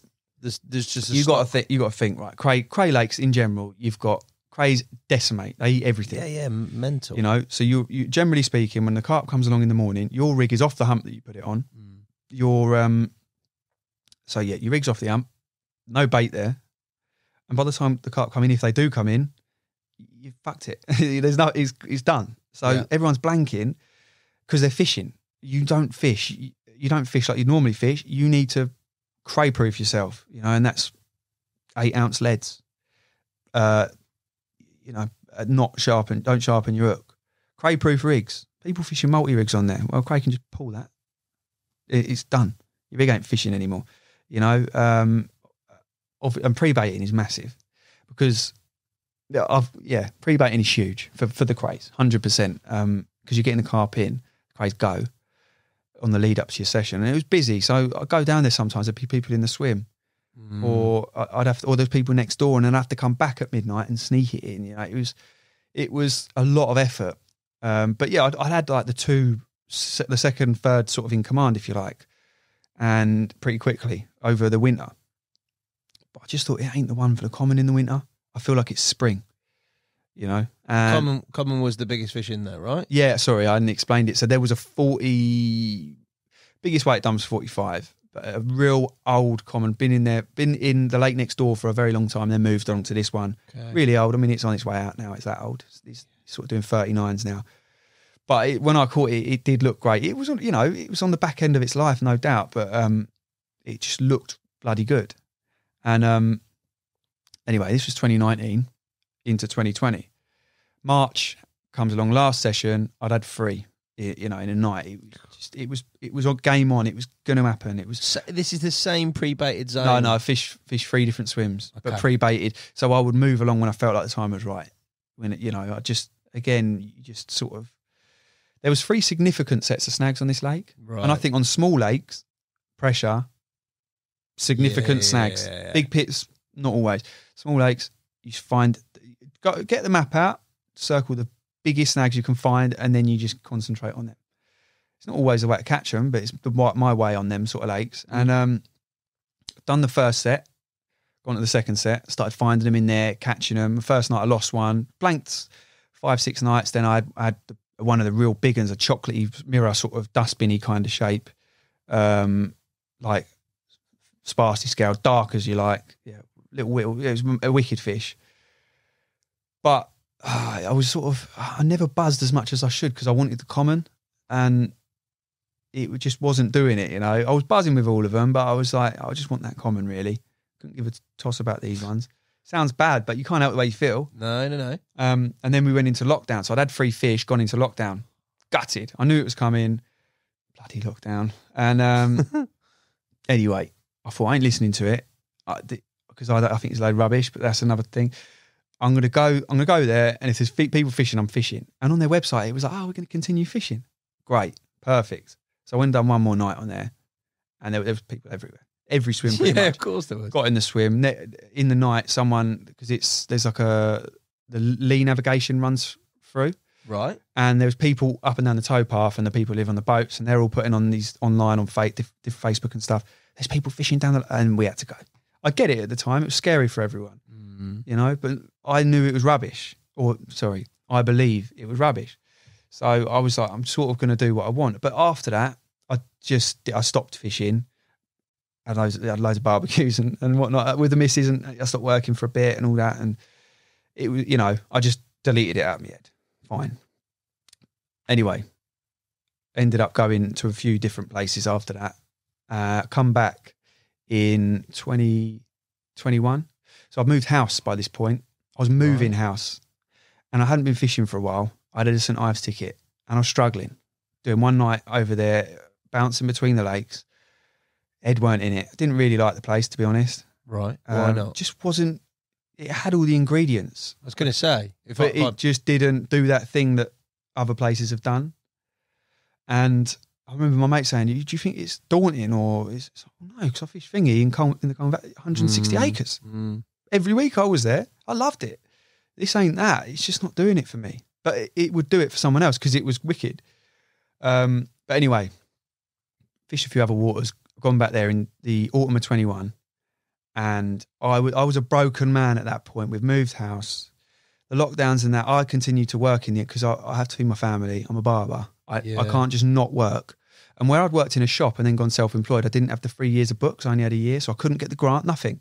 I was getting nothing, you know. And you know your mates and that as well. No one really understood what was going on at home. Yeah, yeah, yeah, okay. I've got to feed my family, you know. Of course you have, so I was working and um, not doing much fishing.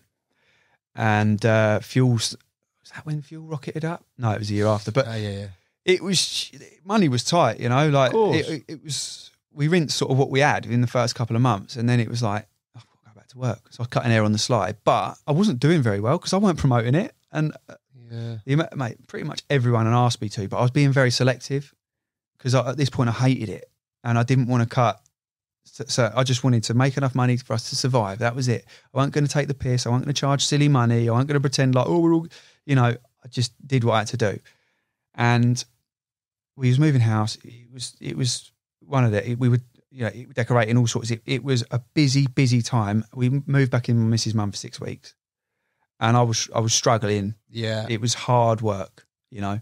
It was like explosion time. And I said to my missus, just about to move in, and I said, I need to go fishing. She was like, Yeah, go, go. So got back on, got another ticket, got back on this lake. I rang matey who I met down the pub and I was like, hello, mate. I didn't rejoin because of the lockdown, blah, blah. He was like, yeah, mate, COVID discount is your ticket. Two days later, it was in, it was in the thing, uh, in the letterbox. So started fishing it again. And the third significant set of snags, first place I walked to see the common in there.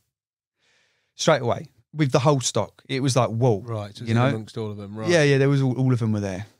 I'll start pre-baiting this one, and it involved a bushwhacker, right? Go on, a boy. Should have just said a baiting pole. It involved a, a baiting pole. I was shoving it. So basically, I couldn't have fished it. I couldn't have fished this spot the conventional way.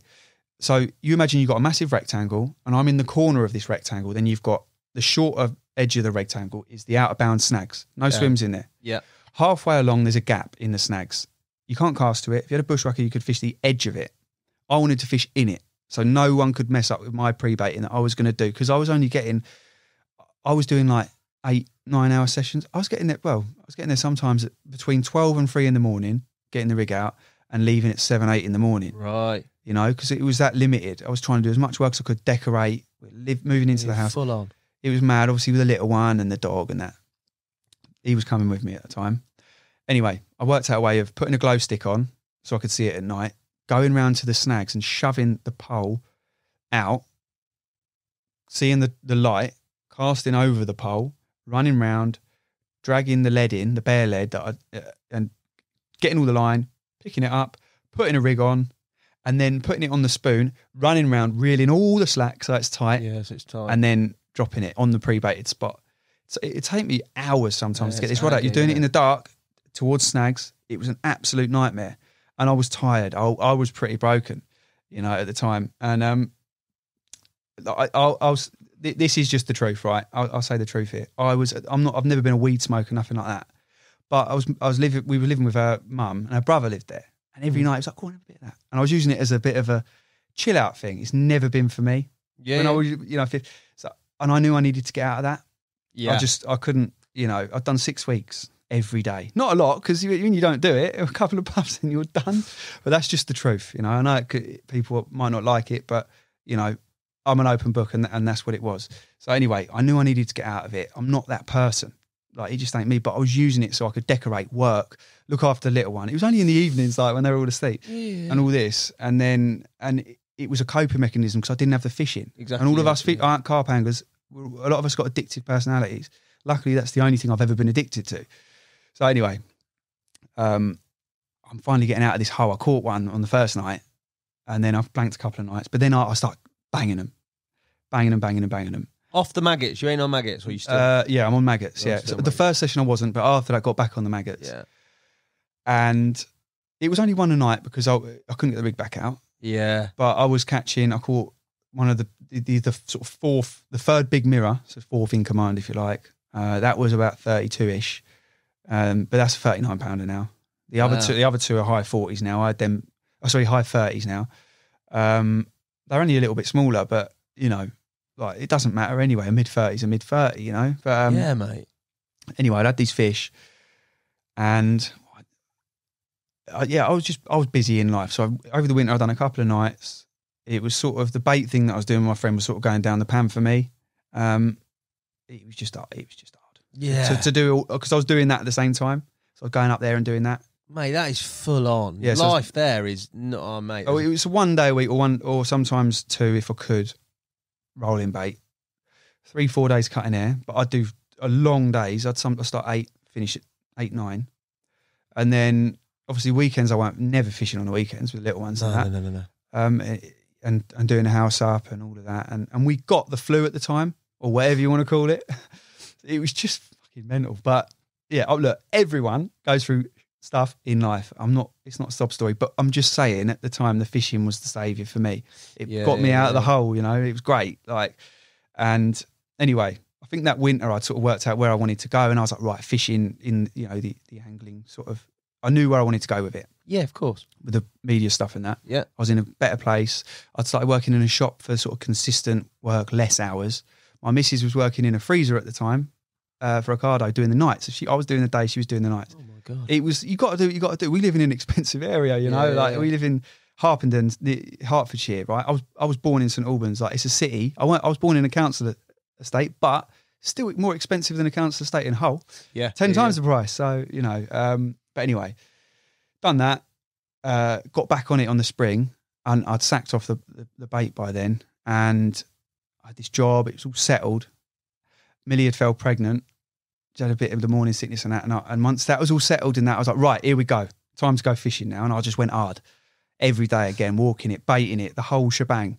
And it's a bit of a pattern with my fishing. I do I do hard stints and then give up. So Yeah, yeah. you know, I might have given you the sob stories where I'd not fish, but there's other times where I'm like, right, I'm gonna go chill and have barbecues for six weeks. So anyway, done that. Uh, found I'd, I'd had an, an idea about this open water spot. Just had this idea. So I was baiting this spot, baiting this spot, baiting this spot. Four sessions into it, I'd I was up this tree, or three sessions into it, I was up this tree, and I'd look down and I'd see the common with the big mirror that I caught, like sort of waddle into this big set of snags to my left, Mm. which I'd fished the other side of these snags. And it looked like it had been. It looked weird. It was fishy. It was. It was. It looked a bit sketchy. Like it didn't want to be in the open water. So I was like, right, okay, that's been caught. But no one had told me. You know, I didn't talk to anyone. Anyway, next morning, I got my phone out on Instagram, see the comment. Everyone pulled off. Yeah. Um, yeah, yeah, yeah. and I was like, I'm just going to stay on. Just going to carry on. I didn't fish the next week. But I, bait, I, I baited the long spot. Um, but then this thing was niggling me. I, I got back down there two weeks after, and I didn't expect to catch it. I didn't see it, but I see all the big mirrors in the, in the snags to the left. That open water spot, it was getting cleaner, but I hadn't seen anything there. Bang that rod out, and I waded. You're not allowed to wade. I waded down the margin left and flicked this rig out.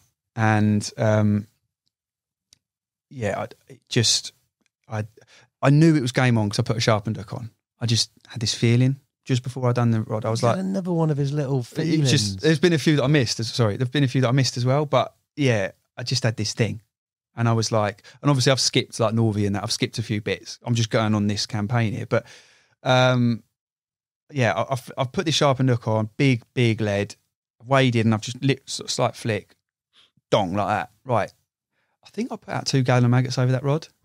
A lot of maggots yeah, it's a fair few. two buckets of maggots. And I was going, oh no, I was, yeah, I was big catapult, bang, bang, bang, bang for about an hour. Um, and I knew it was game on that much that, you know, I'd never, again, never waded or anything like that on the take. The margins are really deep, probably is pretty dangerous. I do it very safely. I get it. But matey was opposite. And I just thought, I don't care. I'm going to catch this common tonight. So I weren't bothered. And I rang my mate Kane. He's always, throughout the years, Frogmore and that, he used to bring his moped down the lake and he used to come sit with us, have a couple of beers. He's my best mate, but he's not an angler. He'd come Right, down, okay. got a curry. We, I bought six Asahis, three Asahis each. Had these beers. I was just rubbing my hands together. He was like, yeah, it's going to happen. And he's like, oh, ring me when it happens. I'll come down, whatever. Anyway, he's done the off. As soon as he's done the off, I'm getting savage liners. On the left-hander? On the left hander Yeah, yeah, yeah. which before I'd got there, I thought I might put a rod there, but I didn't. I weren't baiting that spot. Mm. Anyway, I woke up at four in the morning. I- got out the thing, had a look on the long spot. One showed. Game on. I'm going back to bed. Closed my eyes because I was going to work that day. Uh, Right, I was okay. due, due to go to work at about 10. So my nights back then, finished work on Wednesday, start a little later, 10 o'clock on a, on a Thursday. So that was my night. Uh, and this is, we're, we're in May now, early May. So done that, gone to bed. Opened my eye like that. I must have had a line which woke me up. And then the rod has just hooped. And th- this is the snaggiest lake I've ever fished. It is mental snags. Most people lose their first five, six feet, you know, Yeah. but because uh, why one thing happens to me and oh, it ain't fucking happening again. So what I've done is, is I my rods, I'd always have the rods on solid sticks with solid grips, but then I bang storm pole in front of the, the tip, obviously, Yeah. and then I bang a stick uh, on the reel handle. So if it could pull as hard as it wants, that rod is not going anywhere, Yeah, yeah, and not and no line on braid. There's only so much I can do. They could kite into the snags still because I'm fishing past snags. Cool, dangerous, whatever you want. But what I generally do is, or I, is I dip the rod down the deep margin and Yeah. just drag like that. You don't give them nothing. If you're gonna let give them anything, don't fish like that. But I don't give them anything. Just they ain't got the option, you know. And if they do get in, I'll wade in there. You But must have a big old hook on there, mate. yeah, well, a four or a two is generally what I'll Yeah. use. Like I'm to, at the minute, it's been twos this year, and big baits, twenty four millers. But um, I'll go on to that in a in a bit if if it's worth it. But uh, yeah, anyway, it, I, I didn't really think about what it was, but it, was fighting, and the common's not known to not fight. And I've had bites in there where I thought it could be the common because I'm getting a bit of that no fight, Yeah. head left, head right. And anyway, I got it in, and I, I got the head poked up. Common, the only common that I've ever seen in. I've never seen another common. I've had 15 fish before that, all mirrors. I'd had caught this spring, which I hadn't talked about, but I sort of skipped it. But um, the the the out of bounds, a tree had fallen in in a storm, which had made that spot redundant. Yeah. But didn't really matter in the end, you know. Um, yeah, and I got it in. I, I think it was like 42 pounds something, and uh, nice. I rang Kieran. He'd come down, and uh, Kieran from the reservoir, and uh, mate, he you could ring him at any time. He just comes, you know. And uh, he's on there at the minute. He, he's been doing well, so I'm, I'm I'm buzzing for him, you know. But yeah, that sort of he went so smooth considering it was over. I'd done a, an autumn and a winter or whatever, and then I come back and it was just nice to consistently catch. Really nice cut, and then the the, the big one at the end, catch them all. You know, perfect. Really. Yeah, man. Cra- and also cray wise, mate, because that has got a set of circumstances on there that could be an absolute nightmare, mate. Snaggy, you've got crays, you've got. Well, you're on maggots, but I'm still guessing they're still going to be visiting those spots if there's bait going on there regularly, isn't there? yeah, I mean they're bad. The crays are bad. I did get crayed. Um, funnily enough, that night I fished a tiger nut with a bunch of crays on top, a bunch of maggot. No, I didn't. I didn't. I was I was wary of the crays because I hadn't pre-baited. I knew it was game on, but I was wary of the crays. So what I did was, I got a tiger nut, big one. I bored it out with a drill. I'd shoved loads of dead maggots, i- uh, maggots in there, chopped them up, and then plugged it with um, foam so it smelt like a maggot. And I tipped it with three artificial maggots, so it looked like a maggot and smelt like a maggot, Right. tasted like a maggot, but obviously it was a tiger nut with fake maggots on the top. Yeah, I didn't use real maggots on that one. Uh, I was wary of the crays that night, and generally tigers you're all right. On the reservoir they, they could do your your tigers, but on there they were all right. you safe. Yeah, but I'd, I'd fish Frogmore. I fish so many waters now with crays in that I was sort of used to it, and I knew what I had to do about the crays when I had to do it, or at least sometimes I did get crayed on there bad sometimes. Um, generally, if you weren't catching, you were getting crayed. So the crays where I'm fishing now, where the last year's fishing uh, are far worse. You know, Really? Yeah. What in terms of number? number, more of them? numbers, and size and everything. You ever use them? Like as in No, no, smash them up, put them out? don't like it. What? What in terms of what? I don't know. You don't Just- like smashing them up? No, no, I don't mind smashing them up. but um, um, uh, to be, you know what? I don't kill them though. When I, I, I don't. act- I used to on Frogmore, but I don't kill them when I get them in because I think what's the point? There's billions of them in there. One's not going to make. I'll just put any him back. difference, You know, yeah. like there's no point in killing something if you don't have to.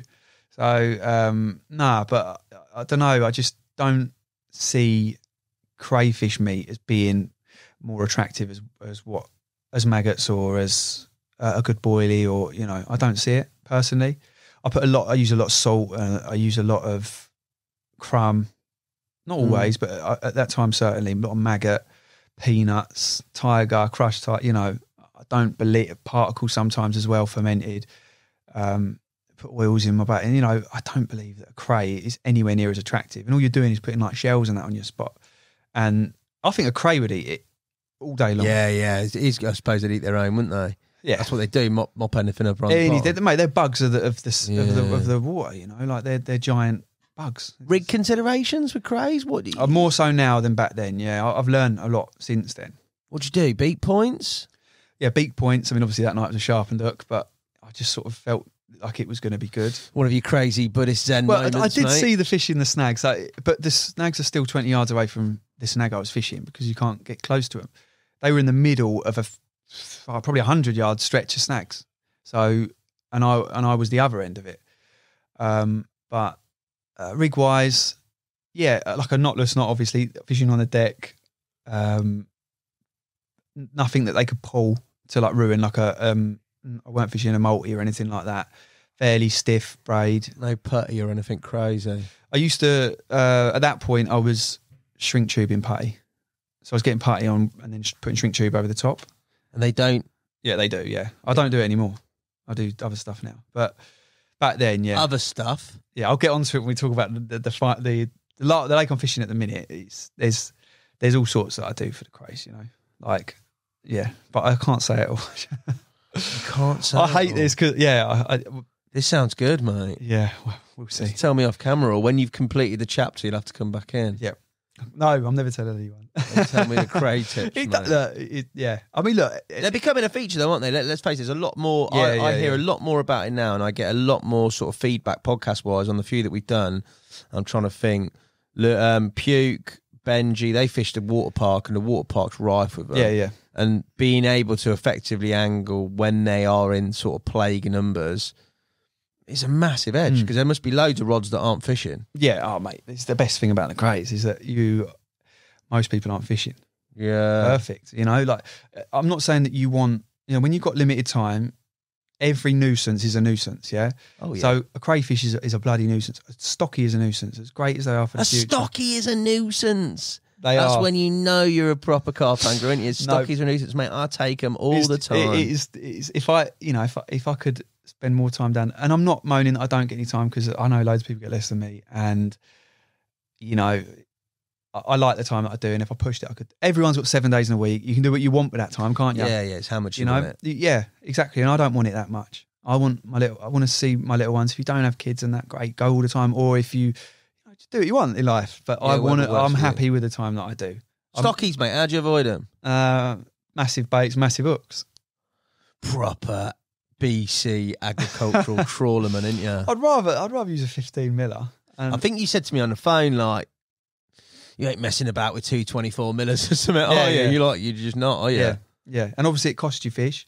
It might even cost you a 30, or it might cost you a, a 40 with a small mouth, or it might cost you a really nice carp that's 25 pound. That, but you got to weigh it up. And crays, rudd, stockies, uh, bream, you know, other anglers, otters, they're all nuisances, aren't they?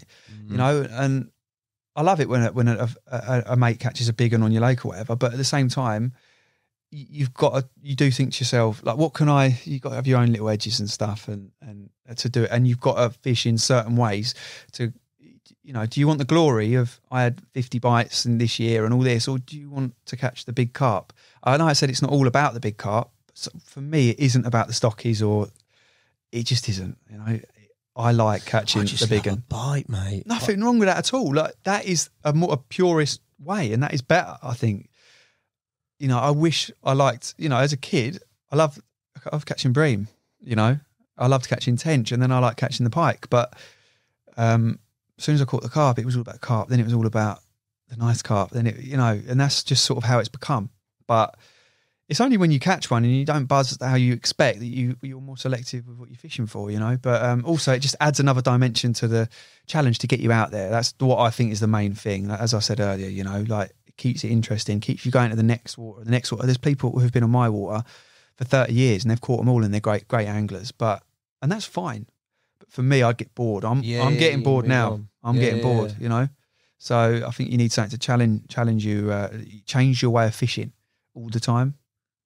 I like that. Over, over all these times, and we talked about challenges, over all these different venues and the different chapters you've had, you've obviously been incredibly successful, but you've also caught a lot of carp that are that are the special ones, if you like. They might look special, but they are special ones within that lake, and we've referenced a load of them going by. What what have you what have you seen in terms of the characteristics? Because those special ones don't come out all the time. Those special ones don't always frequent the bank. Great anglers can go on; they can take a lot of time. We talked about people staying a long time on a venue after them. Have you seen any anything specific as to why those fish don't come out so frequently, or why they're more difficult? I think you've got to look at what everyone's doing and think, how can I do the opposite, but in an effective way, you know? Um, because you, if someone's catching all the good ones, or you, they, you can look at what they're doing. But if everyone's doing okay, you got to think, well, how can I do better than them? And it, it's not about catching more or anything, but like for ex- example, on the lake I'm on now, there's two fish.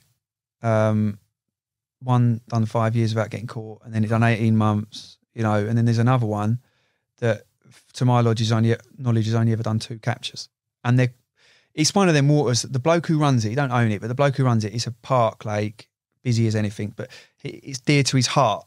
So he looks you know, he he writes everything down and all of that. Okay. Um, and it's not even his lake. He just loves it. You know, he fished it, done really well, and, and has just monitored it. He just loves doing it, and and he, it's his work as well. So he so he works for a company who manage a huge load of lakes in the Lea Valley, and yeah, there are fish in there that just don't get caught that, that have been out once, and he's like, you know, where's that? What's that one? No one knows that one. So how do you catch them? Well, last you know last year I caught uh, I caught a couple of rare ones. Like um, I don't feel like I was doing anything special for them, but I'm gonna I'm gonna you know what I mean? Like uh, you always do it your own way. So like everyone's got their own way of doing things or their own ways. Um, but yeah, I, I've got a few ideas. I've got a few ideas. That, you know, the big baits to select the bigger ones, but you've got to accept that you're not getting as many bites. I mean, to put it this way, right? One of the anglers, he done really well. He he done a lot of time, but he done well. He, like if I'd have done his time, probably wouldn't have caught what he caught. He, he'd had dozens of carp over a six month period. Um, but he- none of the real big uns, Mm. none of the ones that I wanted. So, and I was getting frustrated.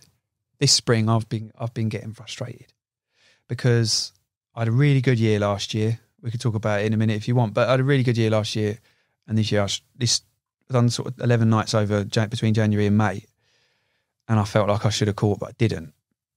And I had to Anything sit. different? Were you doing anything different between the successful year and the? Not really, no, no. But it, I real I realised a few things which are great. One thing I had to sit down and say to myself, Jake, matey opposite. And when I say opposite, right, three four hundred yards over there, Yeah. he's not. It's not his fault that you ain't catching. It's your fault because I go, oh, he gets more time than me. Yeah, I got into that trap very, for a very short period, which I think we all do. But generally speaking, like last year, I wasn't involved in any politics in the lake. Didn't talk to anyone. Didn't know anyone. Just went down there, done my fishing, caught quite a lot of carp, few big uns. Like done really well with the big uns. And um, this year, I've struggled my tits off. And as soon as I said, um, as soon as as soon as I sat down and said to myself, "Sort shit out," it's no one else's fault but your own, mate. You're fishing crap. It all fell into place. So, yeah, you know, I don't know if you want to talk about where I'm currently fishing next or what, but I don't know. I don't know if I want to blow it for you. Do I not want to? Do you want to? no, I'm happy to talk about it. I've sent you the stuff. Yeah, yeah, I've spoke about it before. So, yeah, I'm, I'm again on the bank, like with other anglers. If if you're willing to talk to me, I'm willing to talk to you, and I'll share everything. I'm not, I'm not a secret. uh, You know, I won't give you everything because do you want it on a plate? And I don't want all of your stuff on a plate because if we all done that, I Yeah, think it'd yeah. ruin the challenge a bit for you. But uh, but you know, when you're sat there with someone, you don't really know them. You're both on the lake, and you haven't. He's made you a tea or whatever Yeah, yeah, and you, yeah. I think it- it's only right that you sit there and you have a little chat about the lake, and it gets you buzzing, and you know, and you might have to do a lap with them, and they might go, "Oh, let's have a look down it," and oh, I didn't know they sat in that snag, and you've learnt something, and you might say about a bar, and they've learnt something. So I like that. I like you know, with all everyone can teach you something, yeah, definitely. and there's a lot that I don't know, and there's a lot that you know, and it's you can doom about it. Like I, let's say I did over the course of them yeah. seven or eight, nine nights, or you can not be a knob. you know, I, I've got it described poetically Yeah. by you here as crays and crackheads. yeah, That's what it's down as, mate. pretty much. Yeah, I mean, yeah, no, nail on the head. So yeah, I got the ticket. Uh, where was I fishing before that? Oh, that was that one. So we obviously we skipped places, but that one there, um, the small water we just spoke about. I went from there, went straight onto this one. I'd always wanted a ticket. Not normally in the middle, no. Yeah, Norby was before. Oh, it was before because I because I had a gap, didn't I? Yes. I had a gap where I did St Ives and Norby and went back to the Otter Pit for a bit and all sorts. You know, I, I bounce around a lot, so this is Yeah. why we could never actually cover every, everything because I've been back to the Otter Lake since and I've caught out there. Have you? Yeah, but you know, and I I, I would always go back there when I need to have a bit of me time. You know, just sit there, rods out, three hundred yards, two hundred yards out. I like that, mate. you know, tips down, rod goes up like that, and you never know what really what it could be. They all flood into each That's other. cool, isn't it? Yeah, it's wicked. So, um, and I ain't caught them all. Like there's still fish in there that I haven't had. They're growing as well. Big one. I've had that one, but there's a not another big one? there's a big common. I don't know how big it is though. I ain't seen it, but I walked the dog recently uh, last year. So between when I finished up on the little lake, the Yeah. little Cray Lake to go Yeah. onto the big Cray Lake, I, um, which isn't the secret of the name because there's, there's a limited amount of tickets, but whatever, no point in naming it. I've um, I've, I've gone to to um, the otter pond and I've jumped in where I caught it from, and all these years later there was still a very faint trail where I think I've actually killed the roots because I've walked in and out a few them, yeah, times and I'd left a few bits there when I got caught, so I've gone back and I'd actually ended up going in for another look a few times after that in the last light and stuff. Couldn't help myself in case, you know. But anyway, walking the dog around there with the missus and the little one, we, we love it there. You see um, a lot of grass snakes and all that. My my little one loves it. It's just Yeah, cool. it's like a little paradise. Lay next door's carnage. This one's paradise. So I've, I've waded through and I've had a look and I've seen, I could see him up the tree and I was like, Millie, I've got to strip off and jump in. So I've, I've waded through. Just obviously, I'm not fishing. I'm wearing normal like what I'm wearing now. Got in and I've seen again like what 15 carp or something. There, the same spot. Yeah, on the s- I know, I know. Like I just, it's when you've been there, you've been there, Yeah, you've seen it so much, you know where they're going to be, and they're all there. I've got my phone out filming them, and then there was they, they were spooking off me, but then coming back because obviously they're not really used to people, Huh. and um, it's come round this this common, and I've seen it. wouldn't mind that one, you know. I really wouldn't mind that one. So I, I know they've grown. So someone's actually fished it since I fished it. He, he pre-baited a spot and he done quite well. Um, Mate, get through the reeds, get a worm on, chuck it on their head. You've got all of them in yeah, a day. Yeah, yeah, Well, look, he's you know he, he he's caught a common that I've seen. That I've sorry that I've caught with a nick in its tail. They're all ottered. Okay. Apart yeah, from that yeah, mirror, it's weird. That's the fat one. You see the otters on there? Yeah, loads. Yeah. So I've had fish. I've had I've had otters through my lines all night, and then I, and then rod's gone. No, yeah, the yeah. rod's gone. Yeah. Never never had any problems with them on the line or anything. I fished a place not too long, well, very recently, and I was pranging Mm. with one in the sling. Yeah, yeah, yeah, like, yeah. For Yeah. like literally, it was in the sling for like half an hour. I don't was think like- I think they're they're shy. They won't go near an angler. I could, and I've never, I've never really fished many waters with them about, but that water had them on, Mm. Yeah. and it was, you could hear them, Yeah. and there'd be a lot of trailer bubbles. Yeah, yeah. They'd go across the front of the swim. I didn't get liners, but you, it was like they were there, mate. It was not a nice feeling. I've fil- I've filmed them loads during the day on there, so they're quite tame if you like. But they live on a ten acre island with you know Yeah, they're living the dream, aren't they? living the bream, yeah. So, but um, anyway, um, where were yeah, uh, the, the crackhead place. So I'd uh, I'd got this ticket. My there was a fish in there called Goldie, right? And my mate Kieran, his last name's Goldie. He's like, oh mate, this is fish in there called Goldie. I've got to catch it. It's lovely. Blah blah blah blah. Been in there for years. It's, it's quite a well known fish. I see Nick Helleur recently, and he, I was talking to him about it. We were doing a bit of filming with him, and, and he said, uh, "Oh, where are you fishing?" I told him. He said, "Oh, is that one with the big scale? Scale still in there?" Yes, yeah, it is actually. You know, so it's it's it's known. Yeah, yeah, it's no, known. yeah. It's been about sort of thing.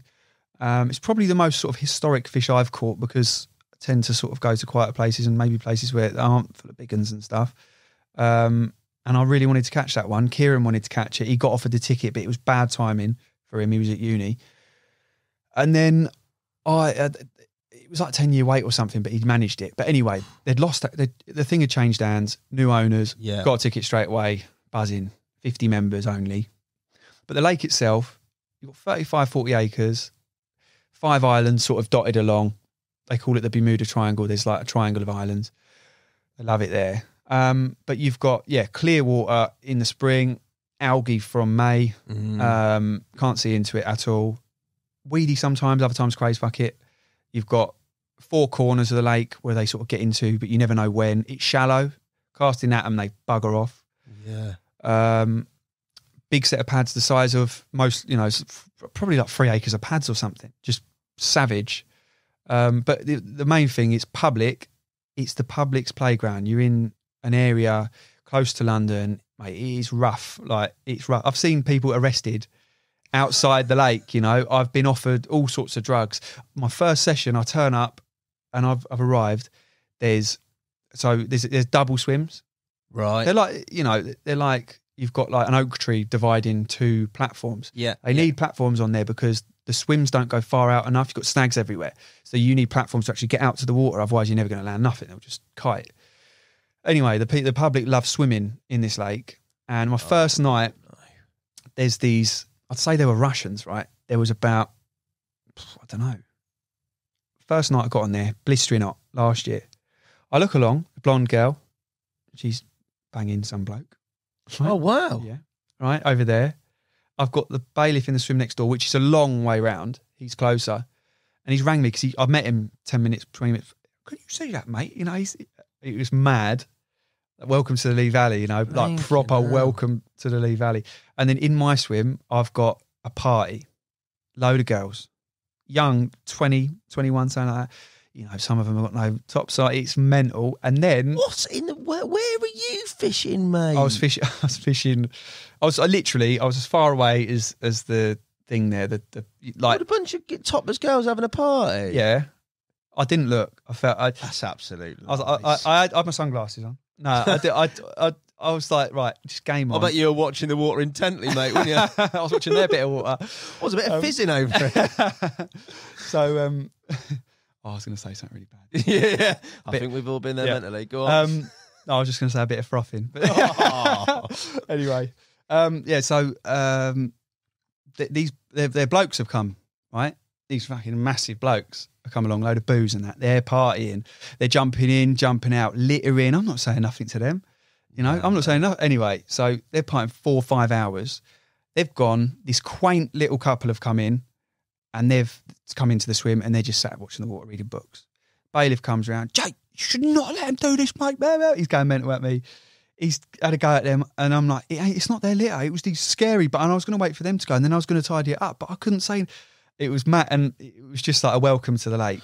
oh my you know, god, mate. but yeah, I had a, a couple that trip stockies, and I assume I was like, right, I've got to change. You know what I mean? I've got to change everything. Um, can't be catching stockies, so I changed everything pretty quick. Um, and yeah, next session, it was just like this every time. It was a, it was a hot summer last year, and Yeah, yeah, we had we had a um, next session. I pulled a four nighter. She was going to Cornwall this time last year, and I'd done two nights in between actually, and I no, I'd done one night in between and I blanked. And the next session, I was like crayfish, eating everything, Mm. hundred stockies or whatever, fifty originals, let's say, maybe not hundred stockies, seventy stockies, hundred and twenty fish, hundred thirty, something like that. I'm going to give them some bait. Crazy will eat it if they don't eat it. So I put out. I thought four nights. I probably put out. oh, I don't even know. I just went for it. I had a big bucket of particle like that, big bucket of tigers. I had, I think I had 20 key of boilies for four nights, and I had a lot of salt, probably 10 key of salt. And yeah, I smashed it. I, I got there early in the morning and I'd found a load on the right hand side of this island. This island's probably five acres itself. Found a load on the end of this island. Once they'd gone, I'd let it. I'd put two singles out. Once they'd gone, let it out, up a bit, and I found it was very shallow around there. Mm. Three, four, two, three foot. Oh. Yeah, there was fours, a bit of forced holes in that. I don't know, ain't the one for me.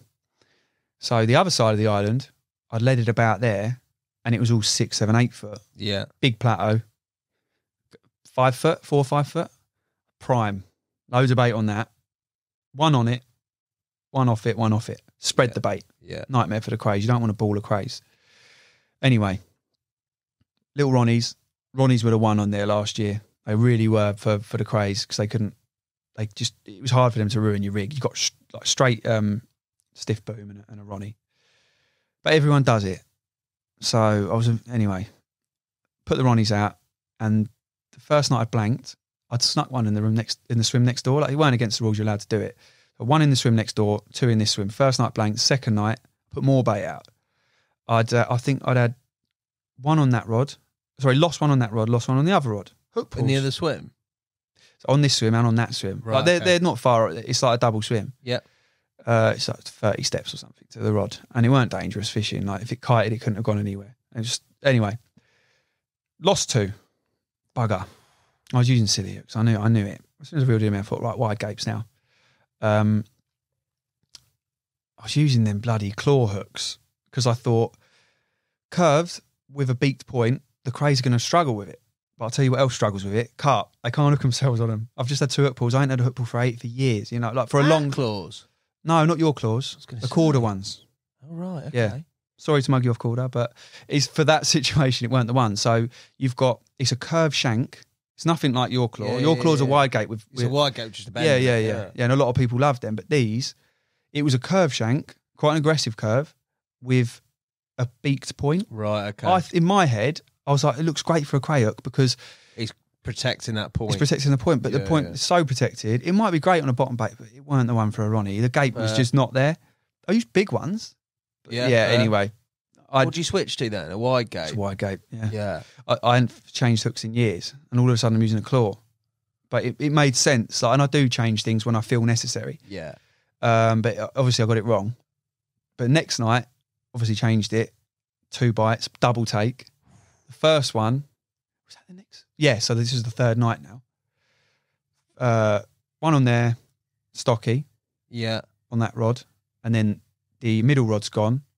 Um, so yeah, I'm reeling it in. Obviously, that rod halfway through is gone. I feel it feels decent. It's a stocky, but it's probably 18 pound linear. Right. Lovely looking thing. Got it in. Ran to the other rod. The net's in the swim next door. I didn't think about having two, bringing two nets with nets with me because I never thought I was going to do that. Now I bring two. So I've got the rod. Anyway, luckily, because this was fishing slightly more dangerously. Mm. Not dangerous, but if it kited and took a bit of line, eventually it would hit a snag. So I don't fish it that way anymore. But anyway, got to pick the rod up like that. You know, head up, head down, left, right, left, right. Mm. Oh, fucking, this feels big. It feels massive. And yeah, I knew all the way in. Got it to, it's, and it's gone over the left hand line. I've had to wade into the next swim, grab the rod, and the because you're allowed to basically if it's for the fish sha- safety, you- you yeah, get yeah. in. Um, uh, and gone across. When I say wade, it, the water was that deep, right? Against this, the so it's not wading. It's almost like welly in, welly booting in. So I'm like in ankle deep water like that. Grab the net, go back round, um, and I've yeah, it, it's- Freed it. Yeah. Yeah. it freed it. And yeah, I've, I've had a bloody, I've, I've had uh, a big common. I don't know what one it is. It's got these massive bulging eyes, huge gut on it. It was, you know, the bollocks, you know. Um, How big? How big is a big common? I weighed it the next day. And bear in mind, six weeks before, I, I'd had the the common from the. Four- yeah. Yeah. Yeah, I, I was like, this is this is as big as that. Um, but anyway, I flicked through the photos. Looked at, I put it in the sack for an hour. Mm. right? Because this was at about four, and I've done the photos at five. Yeah. I like to give them a rest anyway, as long as the sun ain't on them, because I feel like the worst thing you can do, carp in the net straight out. Yeah. Give them at least fifteen minutes, at least, because they're going through all of that, and then they're going to go through that. You know what I mean? So anyway, gave it an hour. Um, done the photos. I got a little button and all of that. Oh no, Luke come down. So the others I'd done the button. Luke, who fishes the lake, my mate, had come down. He's done. The, he he got it on. The, anyway, weighed it. Uh, it was it was forty pound ten or something like that. It was along them lines, Yeah. right? And yeah, mate, it was you know buzzing. Another one. Six weeks later, I've had I've had this this fish, and I've realised which one it was, and it's one of the real old ones. It's been thirty fours for years, uh, and I didn't want to tell no one the weight. No, no, think I'm changing. everything you. Ju- yeah. Yeah. Anyway, it come out in the autumn at 41, Right. and then it come out 43 this spring, and then died. So Oh no. gutter, but yeah, yeah, What do you reckon? Spawn bound or just old? Um, it was around spawning time, Yeah. so I don't think it was spawn bound when I caught it because it's No. always had the gut. yeah. yeah It's yeah, grown, okay. you know. It, it, it's the place suffered a fish kill, at some point, Yeah. and and all the big ones got bigger. So I think, and they're all getting massive. Um, and this is my, it's not a super water, but it's my first sort of fi- lake where there's a few forties in there, you know, which is great. Like I, I've absolutely loved it. So it's just industrial. You're fishing thick line, braid, big leads, so the crays can't fuck them. Wrapped baits. I wrapped mine six times. Hard hook baits, big baits. You know, and I was fishing. Wrap them six times. Yeah, yeah, yeah, yeah, yeah. As long as some of the holes are exposed, I don't mind because it smells. Everyone uses plastic baits. I don't like them. I ain't doing it I was going to say, why not plastics? Why because I because because I don't have to now. Put my stuff out and they don't they don't bother you so much. It's a bait that makes the fat crays go funny. Put it in the edge and you you know Yeah, you see. put it in the edge and you see it. They go weird. Yeah. They go weird. yeah. You know. So anyway, I've had another two the next day. uh, Sorry, I've had another one the next night, final night. And and bear in mind, right? We've got in the night, it's in the days, long days of doing nothing. Swimmers going through your line, so you're reeling in. You've got uh, people on, it's mental, litter everywhere. There was four fires, drunk people throwing bottles on the floor behind my swim, smashing to bits. Someone, a big group have come along, put all the rubbish in my rubbish bag and pissed themselves laughing. It is, you're getting burnt to a crisp, 40 degrees it was, and there was four fires. So there was ambulance, uh, fire engines everywhere. There's four fires on the lake. Oh, that does not sound mate. but you've got in the when the weather's like that, it's your lake yeah, because yeah, no one's yeah. there. No one, no one wants to fish that. It's a nightmare, isn't it? So as soon as they're gone at night, muntjac everywhere. Lea Valley stuffed full of them, um, and it's it's any it could be anywhere in the world. You know, you've got the houses all along there, which ruins it a bit, and a train line. Just look over there; it's right, you know. But you still got the moon, the stars, and the water, and the fish are showing, and you know. But the, the main thing with that place was second guessing them. Like I said earlier, there's no weed Getting now. a- yeah, getting ahead. Don't matter where they're where they're showing. Where are they going to be at night? No weed they're going to feed at night. So where are they going to be? And work that one out. You know, where's the wind going? Where's this the pressure? Everything, the depths. Work it out, and that's how I've fished it really. Um, but yeah, the two. I had a week off, and because I caught the big one, uh, a big one, sorry, Yeah. not the big one. I thought, right, I'll go back a week later. Same. I, I'd gone down twice though, and baited up with. I think it was, it was a 20 litre bucket of particle before work. So I got there, left the house at three in the morning, got there whatever time, 45 minutes. Then I've drove an hour and 10 to work. So working at the barbers at the time, but I've obviously posted on Instagram now to try and build up this video thing. And yeah, so um, I'm baiting it, baiting it, baiting it, smashing this bait in this spot, and no one's really fishing it. And it's hot. Perfect. Gone down two weeks later, knew it was game on. See this moon. It wasn't a full moon, but it just perfect, like a half moon, and it was red in, in the dis- distance. My mate Luke was to my left. My mate Charlie was to my right, who I've met on there. Just a wicked bloke, like proper, just a good crack.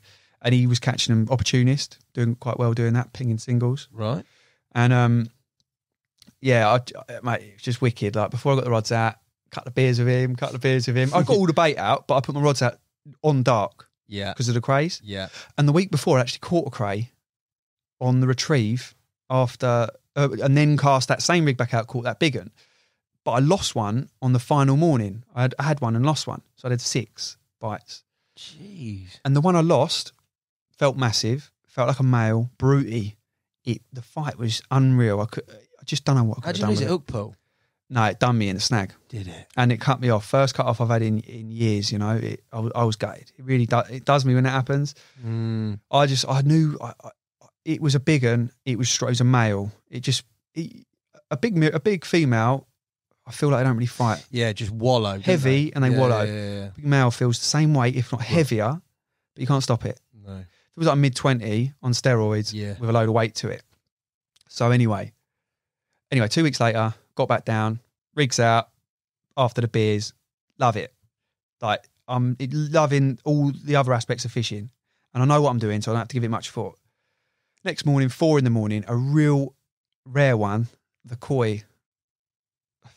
I, I, there's no build up there, but I had the koi, right? the koi. Yeah, the koi. I had the koi, right? It sounds horrible, koi. It's a, it's got a bit of ghosty in it. I'd say it's sort of half ghosty. Um, It's it's, a long, it's the longest nothing carp. wrong with an ornamental. There is. No.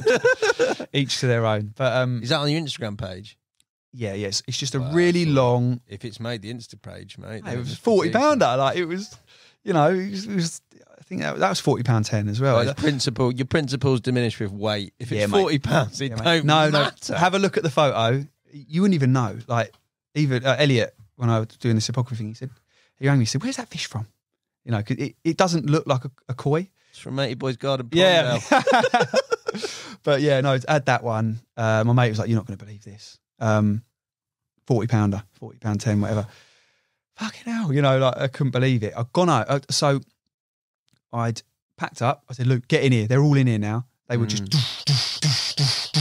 I thought someone's going to come in. It's Friday. I'm going home. At, I've got to be home but for nine, and we've done the photos first light. So he's got gone in the swim. He didn't want to. He was like, "Oh, I don't want to fish Yeah, on." of course you. I said, yeah, mate, just fish on there. I'm not going to tell you where I'm fishing. I said, just fish. But he was blanking. And he's had a few before because he was the one who got me on the Ronnies because I'd never used one before that. But for the crays, they're great. Anyway, he'd, he'd done that. I, I can't remember how he got on now. But I, as, I, as I reeled in, I see the real big one show. I was like, fuck, that's the big one. But I've got to go. Got to go. I can't remember. My, my missus was going to a wedding. She was heavily pregnant. She, she had a wedding three days. And I went home and I remember I was buzzing, caught this fish, got the brollies out in the garden, two brollies, bed chair, barbecue with a little one, and we just cooked up a feast. toasted marshmallows after, music on. Uh, oh, mate, it was it was one of the best days of my life. Wake up in the morning, forty pounder. Everything in life was sort of flowing in the right direction at that point. Yeah. Uh, my little one, you know, spend the night with her. She's loving it outside in the sleeping bag. Half three in the morning, we both wake up. It's a bit cold. She go inside. You know, like we had a yeah. barbecue, and, and she- to be fair to her, she slept about six hours out. Like, it's just one of the best days. You know. Yeah. So yeah, done that, and then blagged two two more nights because I was like, right, I'm going to do one more night, lock it off for the year. But blagged two more nights. I'd, on my next night, I'd had a feeling about an a zone for the autumn, deeper water. Didn't even look. I was on my way to the lake. I got to the lake, barrowing round. My mate rang me. Right, Jake, do you want to make a few grand? Yeah. He goes, well, I've got the, I can't remember which one, but they were playing Luton, a, a football team down in the Luton Who. I live five minutes away. right. Cut all their hair, get a couple of grand. Yeah, job done. Oh, what, what, when is it? He said, oh, tonight. I went, no, mate, I'm fishing. I've got two nights left of the year. You know, uh, it weren't a hard decision, but in hindsight, I'm like, could have done with that. Um, but anyway, I didn't, I've never told my missus that one. That's. I hope she don't listen to this, mate. So yeah, when I was cutting hair, like I was, I'd done quite a lot of the footballers and, and rugby players and stuff like that, and like uh, Watford and uh, Luton and the Saracens and whatnot. And yeah, you, when you cut an hair, you, you do, you know, you just you come across people. Uh, everyone needs their haircut, but binned it off. I had a job interview with um, job interview with uh, Luton Airport the next day for the recruitment, which I didn't Oh, take. yeah. So I was like, right, got to go to bed early. And anyway, bang the rod out and had a, a, an old, real old one known as Black Scar, going perfectly. It was, it's done forty pound plenty of times, but I'd had it at thirty four. Fine, smashing maggots out, loads of bait, but I've put the maggots in now in deeper water. right. I said to Millie, I've got to do one more night. You know, gone back a week later, and I've done the same thing again. I've seen big and showing, like uh, you know, I'm, I'm sort of shortening it down a bit, but um, yeah, I've seen sort of big and showing, and I, mate, that night within, I think I fished twelve hours, eight o'clock to eight in the morning. I had to go. I can't remember where I had to go, but I had to go early, and it was my last night of the year. Oh no, that was the night that oh, the football thing. But anyway, last night of the year, uh, Will, my mate, he's he's um fished down Frogmore with us. He come down, curry, beers. Um, I knew it was game on, and then between, I think it was probably four and six, I'd had four bites. Four bites. One of the real old ones. It weren't a big one. It's 28, 29. and then I'd had a thirty-five pounder, but one of the real nice ones. And and I was just like, right, yeah, cool. Go home and done for the year now. Yeah. And that was it. And and you know, I I knew that my my little one was due in two months. So this was late Yeah, September. She was due late November. And I thought I don't want to be that bloke who's fishing Mm. when his little missus has gone into labour the early. call, Yeah, yeah, yeah. So I locked it off. And but I still hadn't caught. There was two. But there- there- there's now three, but at the time there was two that I really wanted. Goldie, which I mentioned earlier, Mm. being the main one. I'll gloss over the, the, this bit because I've probably banged on about it for long enough. But I've done ten nights this this um, win, winter into spring. Yeah. Like I said earlier, Sad fish like crap. Yeah, yeah. You know, I was on them the whole time, consistently on them. I found the big and Goldie in the edge, uh, like buzzing. You know, like um, put the rigs, you know, rigs where I, I thought I should. Big baits, all of that stuff. Hinges by now. Just want a hinge. I don't. In that spring mode, I feel like them carp are ravenous. Yes, and I didn't want a little one. I didn't want anything to ruin it. I wanted a big long rig with a big irk and a big twenty mil bait on, with twenty four millers pinged out. Right, and by now I'm thinking, is this the right thing to do? Because I haven't caught anything on this twenty mil thing yet, twenty four mil. Um, but I stuck with it. I saw the big common as well that I want. That that's made me want it. It, it was bigger than than that one. And the next morning, the winds hacked down. This is in April, hacked down the other end, and they're going.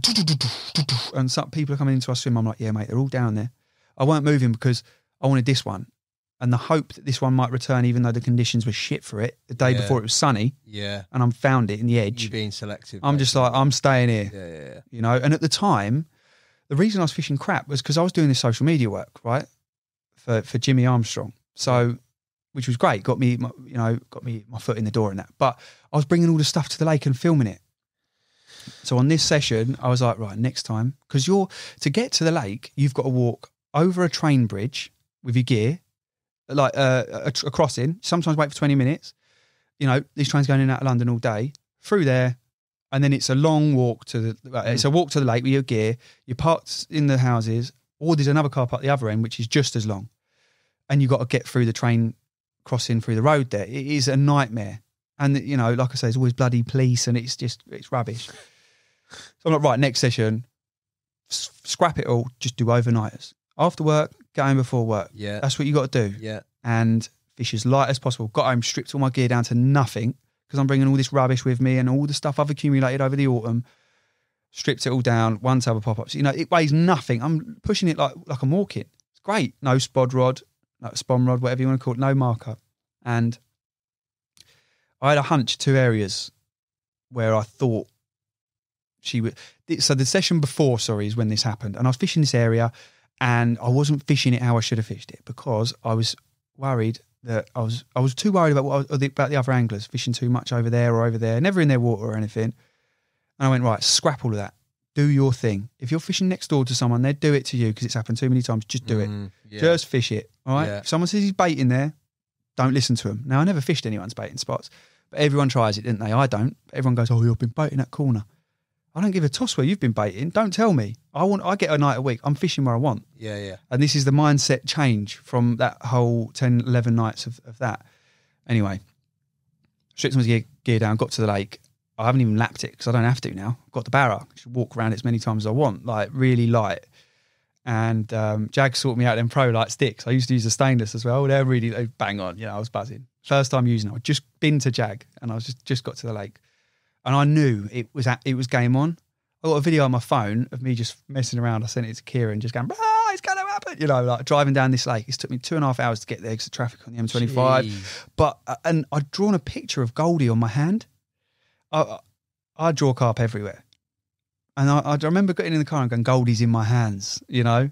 It was a bit, it was a mad one. It, it was one of them that I've done a few things like over the years, but this, yeah, just knew it was going to happen. Anyway, got there, swim I wanted to get in, someone was in there. It was Jamie, the bloke who runs the place. He Right. is sound as a pound. First time I'd actually probably met him, but he's sound. I said, mate, sorry. I said, but I'm going next door. It's 200 yards away, but you know, I, Oh, mate, I generally wouldn't do it. Yeah, yeah. I said, I'm going next door. I said, I have to. He's like, mate, it's sound. Just do it. They were there. They were in them big, the big set of pads, you know, and there's three swims that fish the pads. That's how big they are. One in the pads, one 100 yards that way, that end, and one 100 yards this way, this end. Yeah, But you got to cast over a tree, loop your line around, get to these pads. It's about 15 wraps or something. Anyway, they're all there. It's pissing down with rain. I think there might have even been lightning. I've got a rig to these pads. I've fished as small a lead as I can get away with because I know it's game on. Two ounce, I think, with obviously sinking braid nightmare. I've fit, I've got a, a tall hinge, big bait Yeah. on it, and I've just flinged before I got the rig out. I flinged, I don't know, thirty baits around it, which is sort of what I've been doing at that point. And um, anyway, my mate Nafe's come down. He, I've known him since Frogmore days, and I always get a bit of luck when he's there. And he stood there. I've had the rod out for two hours. He saw me do, saw me cast the rod out, and we stood by the rod. It's eleven o'clock at night, and he's gone. I heard bang like that, and he's gone. Your your bobbin's just hit your rod. I'm, what? And then like that, and the rod has hoofed around. Right, hairiest battle of my life. But the whole time I'm thinking, I've been here before. I know this feeling. Over there, I've you know when I lost that fish, and I'm I'm playing it, playing it, playing it, reeling it in, and I just knew it. It was one of them where we both knew. It, neither of us said a word. He didn't say a word. I didn't say a word. It was just like that, you know, the whole time. It got into this snag to my left three or four times, but it, the way that it could do it, I'm generally good with that. But the way that it could go from being five yards over there to 15 yards over here like that it was unreal. I've never seen anything like it. It was, it was like a bullet. Yeah. Anyway, done that. Got it in the net eventually. Um, hairiest battle ever. And uh, yeah, oh my God, that is a big one.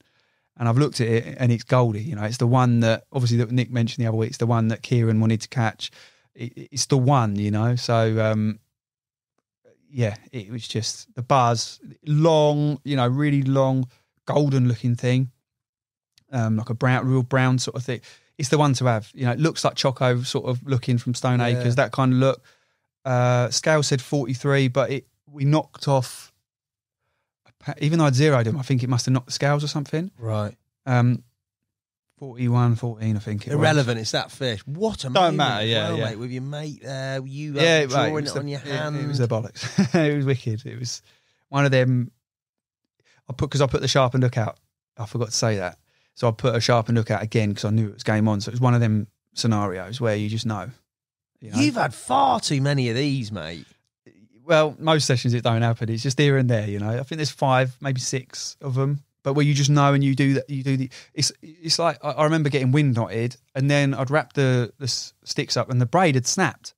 I was like, what? Like, but when I'm not saying on a normal day I wouldn't bother because I probably would, but it didn't deter me. I was just like, yeah, whatever, you know, and, and just go again. Whereas other days I might have been, ah, oh, Oh, God, yeah, yeah, yeah. So it was And, and you're still on there now, are you?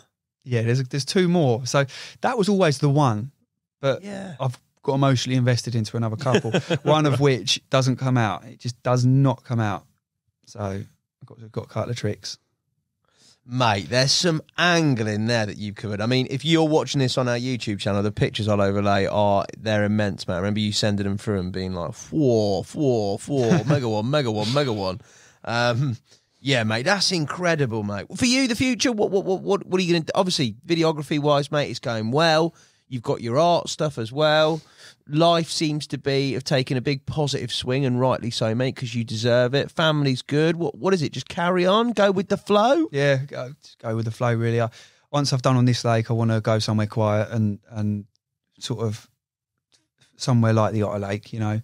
Um, but yeah, life wise, you know, I've I've always been creative. I've always wanted to do everything at the best of my ability, and and uh, I want to make some films that are really, you know, the best out there. That's what I really love to do. Um, I think I've got the potential for it. I don't have the skills yet, but I'm learning. Um, yeah, but the best art that I could physically do, um, and just enjoy every part of the fishing that I can. Um, that's about it, really. You know, the main the main thing is just enjoying everything that I'm doing. I don't really know what I'm going to end up doing. I might give up fishing next week. I might go full time. You don't know. So I love it, mate. I love the um, yeah, the sort of nature of it, mate, and how things are really organic with you. That's wicked, mate. And also the fact that you are, yeah, just like a mega talented lad. Um, thank you for coming in, mate. Before you go, I've got some quick fire questions, mate. You're not prepped for these. no, The first one is in reference to a phone call we had about influential TV series that we all watched, mate, as kids. Uh, if you could pick or star in one of these series, mate, which one would you have been in? Rex Hunt, Go Fishing, or Matt Hayes and Mick Brown, The Great Rod Race? Rex Hunt. Rex Hunt's the one, isn't it? He's the man, isn't he? Yibbity yibbity. He, he got me into fishing. He he was the one who really triggered it. So you know, He's still about, Rex. He must be pretty old if he's still I about. don't think he is. Is he I don't not? think he is. Him and Steve Irwin are the two legends, you know. And if it wasn't for them two, I used to sit there with my granddad. I haven't given my granddad any credit. I know that we're coming to the end, but if it weren't for my granddad, he used to sit me down. He used to take me to the woods. We used to uh, push dead trees down. He was a really strong bloke, lovely bloke. Um, he used to uh, watch fishing with me, even though he probably didn't like it. Rex Hunt, Crocodile Hunter, everything on Nat Geo Wild.